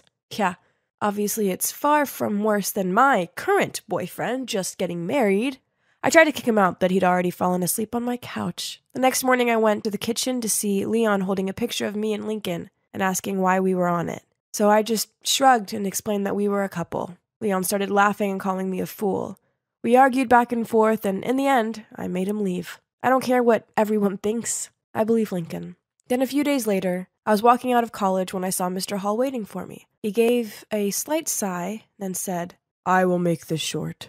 Stay away from Lincoln. He's married now. Layla, I'm fond of you, but if you try messing with Lincoln's marriage, I won't hesitate in making things complicated for you. Oh my god! I can't believe Leon snitched on me. Ugh, what a giant baby. In anger, I took out my phone and gave him a piece of my mind. Oh my god. I can't believe you told your dad about me and Lincoln. You're such a jerk. Just leave us alone and mind your own business. If you trust Lincoln, then that's on you. But he's not as innocent as he makes out. He and dad would do everything for the company. What did that mean? I hung up without letting him say another word. This jerk didn't even try to cover up his action. I couldn't just let them do this. I needed to fight for us. So the next day, I walked straight into Mr. Hall's office, even though his secretary tried to stop me. I told him right to his face that I would never give up on Lincoln despite his threats. And you know what? Forcing your son to get married just to save the company makes you a coward. Mr. Hall burst out laughing. Well, what came next was far from funny. Turns out it was Lincoln's idea to marry Sandra. Leon was right. Both of them would do everything for the company. Another thing Leon didn't tell Mr. Hall about Lincoln and me he saw us talking at the wedding, so we hired someone to investigate us. I was totally wrong about Leon. Right at that moment, Lincoln walked in and stopped dead on seeing me. Layla, what are you doing here? You liar. I can't believe I trusted you. Please hear me out. I took the iced coffee from Mr. Hall's desk and splashed it in Lincoln's lying face. We're done. Overcome with emotions and feeling like a massive fool, I rushed to the nearest bar to drown my sorrows. I was about to down my fourth shot when a hand stopped me. Can Lincoln just leave me alone? But when I looked up, it was Leon. Why are you so good to me? I mean, I blamed you for telling your dad. You should hate me. Because I like you. I felt like the room was spinning upon hearing his words. Then everything slowly came to light. Leon was devastated when his girlfriend broke up with him, but then he found out she did it to be with his brother. Yes, you heard me right. His ex was none other than Sandra. At first, Mr. Hall forced Leon to marry Sandra for the sake of the company. Even though Leon was crazy about her, he didn't want to marry her under those stipulations. Lincoln overheard their conversation, so to gain his father's trust, he charmed Sandra away from Leon. Oh my god, this family was crazy. I didn't want anything to do with any of them ever again. So I just rejected Leon's feelings, ran straight out of the bar, and cut off totally with all of them. So what now? Well, I graduated last month. So after that, I decided I needed a fresh start in a shiny new city. So far, so good. I have a new job, which I adore. Hey guys, I'm Feather, and I look just like any other 16 year old, right? Actually, my life as a teenager is far from ordinary since I have hemophilia, a rare disease in which my blood doesn't clot properly, so even a simple graze could be fatal. My parents are so worried that I might hurt myself that they keep me safely shut away in this mansion. In fact, I've never left it. Money isn't a problem to them as they own this massive energy corporation, so to compensate for me not being able to go outside, they make sure I get anything I ask for. My giant playroom is cool, right? Not only that, but I also own a dressing room with hundreds of cute Lolita outfits, and an enormous pantry full of my favorite snacks that I can enjoy at any time. You see, there's honestly nothing to complain about, except I suppose it does get a bit lonely sometimes. Until one morning, I was woken up by a screeching noise coming from downstairs. Are you kidding me? Do you want to burn my throat with this or what? What's going on here? I went over to the living room and was stunned to see a girl sitting way too comfortably on our couch. I was still trying to figure out who she was when she suddenly said, You, standing at the door, get me another glass of cool water. Now. Taken aback, I instinctively went to get her water. Then the girl finally looked up and seemed startled to see me. Oh my, I'm terribly sorry. I thought you were just one of the maids. Turns out she's Katie, the daughter of Mr. and Mrs. Forger, the two scientists that are collaborating with our family's corporation. My parents arranged for them to stay here to facilitate the research on the upcoming project. When I told her about my life and condition, she seemed really surprised. Oh, Feather, it's as if you live in your own tiny world. There are already flying cars out there, and they've just invented time machines too. You're missing out on so much. Really? How come no one told me about this? I'm just joking, silly. Whoa, you weren't kidding about not leaving this place, were you? Then she started telling me about some of her favorite things to do in the outside world, such as watching the latest movies in the cinema, going to the mall where she could actually try things on before buying them, or attending all the fun festivals. It all sounds so cool. We chatted for ages, then I showed Katie around the mansion. Her reaction when seeing my dressing room and the playroom was seriously priceless. From then on, I spent lots of time with Katie, but my favorite part about being around her were her stories about school, where she got to learn new things and make a lot of friends. Seeing my excited expression, Katie immediately suggested that I talk to my parents about maybe letting me experience it myself. Actually, it doesn't hurt to try, right? So at dinner, I gathered my courage to say, Mom, Dad, I want to go to school. I understand that you're worried for me, so Katie will come along to protect me. Right, Katie? Oh, yes, that's right. Feather is in good hands, Mr. and Mrs. Adams. My parents seemed very hesitant, but after a whole lot of persuading, they finally agreed with conditions. We'll join the most prestigious school in the state and have our own chauffeur. As for Katie, to avoid any incidents occurring, I suggest you get rid of the long nails and jewelry, Katie. We went back to my room after dinner, and I just couldn't hide my excitement. Yes, we'll get to go to school together soon. What should I prepare? What would you recommend? But then I noticed Katie staring in sorrow at her newly done set of nails. I'm so sorry, Katie. Is there anything I can do to make it up to you? It's okay, Feather. What matters is that you're able to go to school, and I'm so happy for you. It's bedtime, anyways. I'll head back to my room now. I'm so lucky to have a friend like her. As I was indulging in my thoughts, a familiar voice startled me. Hey, I heard you two are going to school. Are you sure it's safe? Katie doesn't seem all that trustworthy. That is none of your business. You're just jealous that I've made a new friend while you're still lonely, aren't you? In case you're wondering, this guy is Liam, the butler's son. He was my childhood best friend and used to come to the mansion every day for homeschooling and to spend time with me. But we had some petty argument, and I hadn't seen him since. Well, at least not until now. He was about to ramble about something else, but I slammed the door in his face. I wasn't going to let him ruin my mood. What I need to think about is my school day that's coming up. Oh my, it's so exciting. I really can't wait. Ah, we are going to Edgewood High today. So I decided to wear my favorite Lolita dress as Katie suggested. Oh, I almost forgot, Mr. Freddy. He's been my best friend since childhood, and of course he had to come along with me on this big day.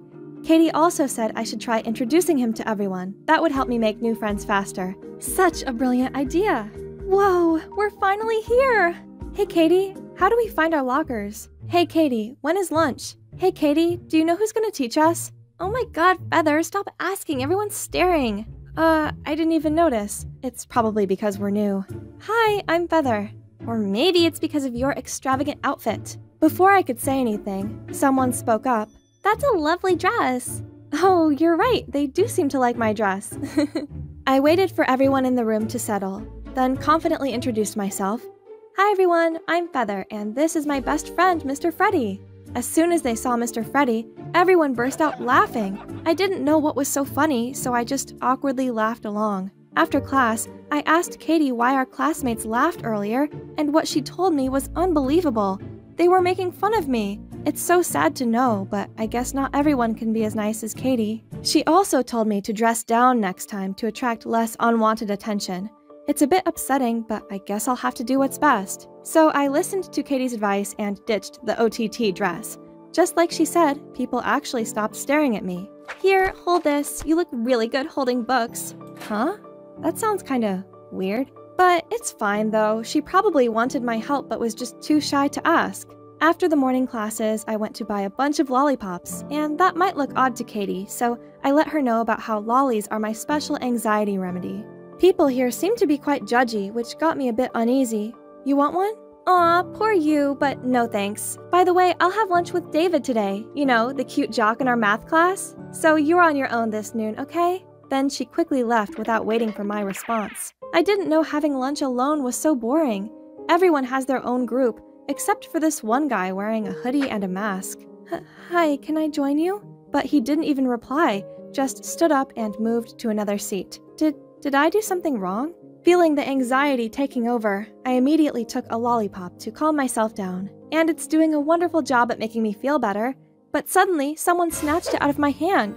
I chased after him, but slipped on someone's foot and fell hard on the floor. Panicked, I burst out crying, and I heard the guy that took my candy say, Huh, huh, Feather the toddler. Then everyone laughed at me again. Luckily, a guy spoke up. Stop this nonsense. What are you gonna do if she's injured? Oh, wait, it's the weird guy from lunch. He checked on me to make sure everything was fine, then quietly went back to his seat. I didn't even have the chance to ask for his name before the teacher came in. This guy was so strange, but there was one thing I didn't understand. Why was Katie also laughing? Back home, Katie came to find me in the playroom, and I questioned her about the incident earlier, and she quickly apologized as she thought they were just joking. She then suggested going shopping and offered to buy me something to cheer me up, and so I agreed immediately. We went to the mall the next morning, and I had the best time. We had iced coffee and some delicious pudding. Katie also got me an adorable little hair clip, and so I bought her a bunch of new clothes in return. We were about to head home when Katie said, Hey Feather, um, I have a cousin whose sneakers are falling apart. Would it be okay if you helped me get him a new pair? Of course, anything for my best friend. Making my best friend happy was the most wonderful feeling in the world. I'm so grateful to have such a lovely person like her to come into my life. But then the next day, I walked into class to see Katie being all lovey dovey with the boy who took my lollipop. So that's the David that she mentioned, and on his feet were the brand new sneakers that were supposed to be for her cousin. Why is he wearing the shoes I bought? Then Katie pulled me outside and explained profusely Feather, calm down. The, the shoes were too big for my cousin, so I gave them to David. I didn't lie to you, I promise. Fine. Please just don't let me see him wearing them again. I felt really bad since Katie seemed really sad after hearing what I said. At that moment, David approached me. What's up, toddler? You got a problem with my new kicks? I froze in fear. Then, thankfully, an announcement came through the speaker David Peterson, please come to the principal's office immediately. Turns out he's in trouble for spray painting a teacher's car. At least someone already helped me teach him a lesson, but that wasn't all. A few more of my classmates also got detention for cheating on the math quiz yesterday, while some others got caught skipping classes. It was such a crazy morning. It's as if someone was trying to play the hero here. Finally, it's lunch break. Hoped things would be better in the afternoon. But, huh? What is this? A poster of me? It also says underneath, Feather the toddler is the snitch. Katie took a look at it and said that the best way to deal with these kinds of jokes was just to play along. Um, I'm not sure about that, but it seems like the only way now. And so, I climbed on an empty chair in the cafeteria and started speaking loud and clear. May I have everyone's attention, please? Hi, I am Feather the Toddler, and I am proud of it.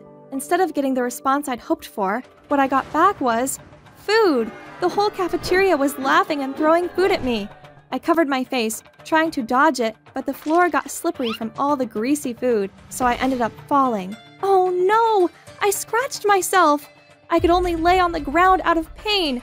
People finally stopped as they saw me bleed. All I could vaguely hear was a familiar voice calling my name. I woke up in the hospital to find Liam sitting next to me. Feather, you're awake. Do you feel pain anywhere? Well, Liam? Why are you here? Where's Katie? Katie? You're still worried about Katie? She's the one who was behind all this. She told the principal about your classmates and told everyone it was you to make them hate you. What? How is that possible? Turns out the guy who was always wearing a hoodie and mask was Liam. Liam had always been suspecting something shady in Katie's behavior, so after failing in warning me about her, he decided to look out for me himself instead. I cried and tried to hug him despite the pain on my arm. Then Liam showed me a shocking video of Katie talking trash about me to everyone. Oh, why was Feather carrying my books, you ask? It's because her parents work for my family's corporation, and she'll do anything I tell her to, as long as I give her some money. Seeing the anger and also disappointment in my eyes, Liam calmed me down and said he had a plan to expose my so called best friend. When I returned to school a few days later, I stormed straight over to Katie. It's you! You're behind it all! I already know everything. Stop being ridiculous, Feather. You got busted and now you're trying to blame me. Drop the act. No one's falling for it. At the end of class, Katie suddenly gathered everyone. People, head over to the lecture hall. I have something very interesting to show you guys. Oh boy, I wonder what else she has planned. Liam and I quickly followed the crowd and found Katie standing on stage. Oh, Feather, I'm glad you're here. This is about you, after all. The screen started playing a video of me sitting on my swing, playing with my dolls, and taking armfuls of candy out of the pantry. Do you see that, everyone? Feather is just a toddler in a teenager's body. Such a weirdo. I was waiting for everyone to start laughing, but the crowd stayed completely silent. Then Katie hesitantly continued, Not only that, she's also the poser who snitched on us. Then, to her surprise, the angry crowd started booing and shouting at Katie, saying she is the evil snitch. Then they turned to me. Your rooms are actually pretty cool. I wish I had a snack pantry like that. It's so awesome. Katie sounded panicked as she continued talking more trash stuff about me, but no one listened. Turns out, Liam had set up a group chat in which he'd posted proof of Katie's actions, including the video of her talking to David, and also pictures of her coyly walking out of the principal's office after she must have snitched on everyone, and her putting up that mean poster about me. Katie, you're the one embarrassing yourself. Everyone knows that you're a snake in the grass. I trusted you, and what I get back are all these lies and schemes? I feel so ashamed for ever calling you a friend. As Katie looked around at the unimpressed looking crowd, she realized her game was up and quickly fled the scene. Later on, we arrived home to see my angry looking parents standing next to Katie's mom and dad, who had all their luggage packed ready to move out. Yes, Liam had already told them everything. In the end, Katie's parents made her apologize to me. Only after a lot of persuading did my parents let them keep their jobs. I never saw Katie again, but I did make a bunch of new friends that I invite around sometimes. The snack pantry is a big hit. Now, I wear whatever I like without worrying about being judged. Most of all, I'm enjoying my school life, and it's all thanks to the help of my trusty soulmate, Liam.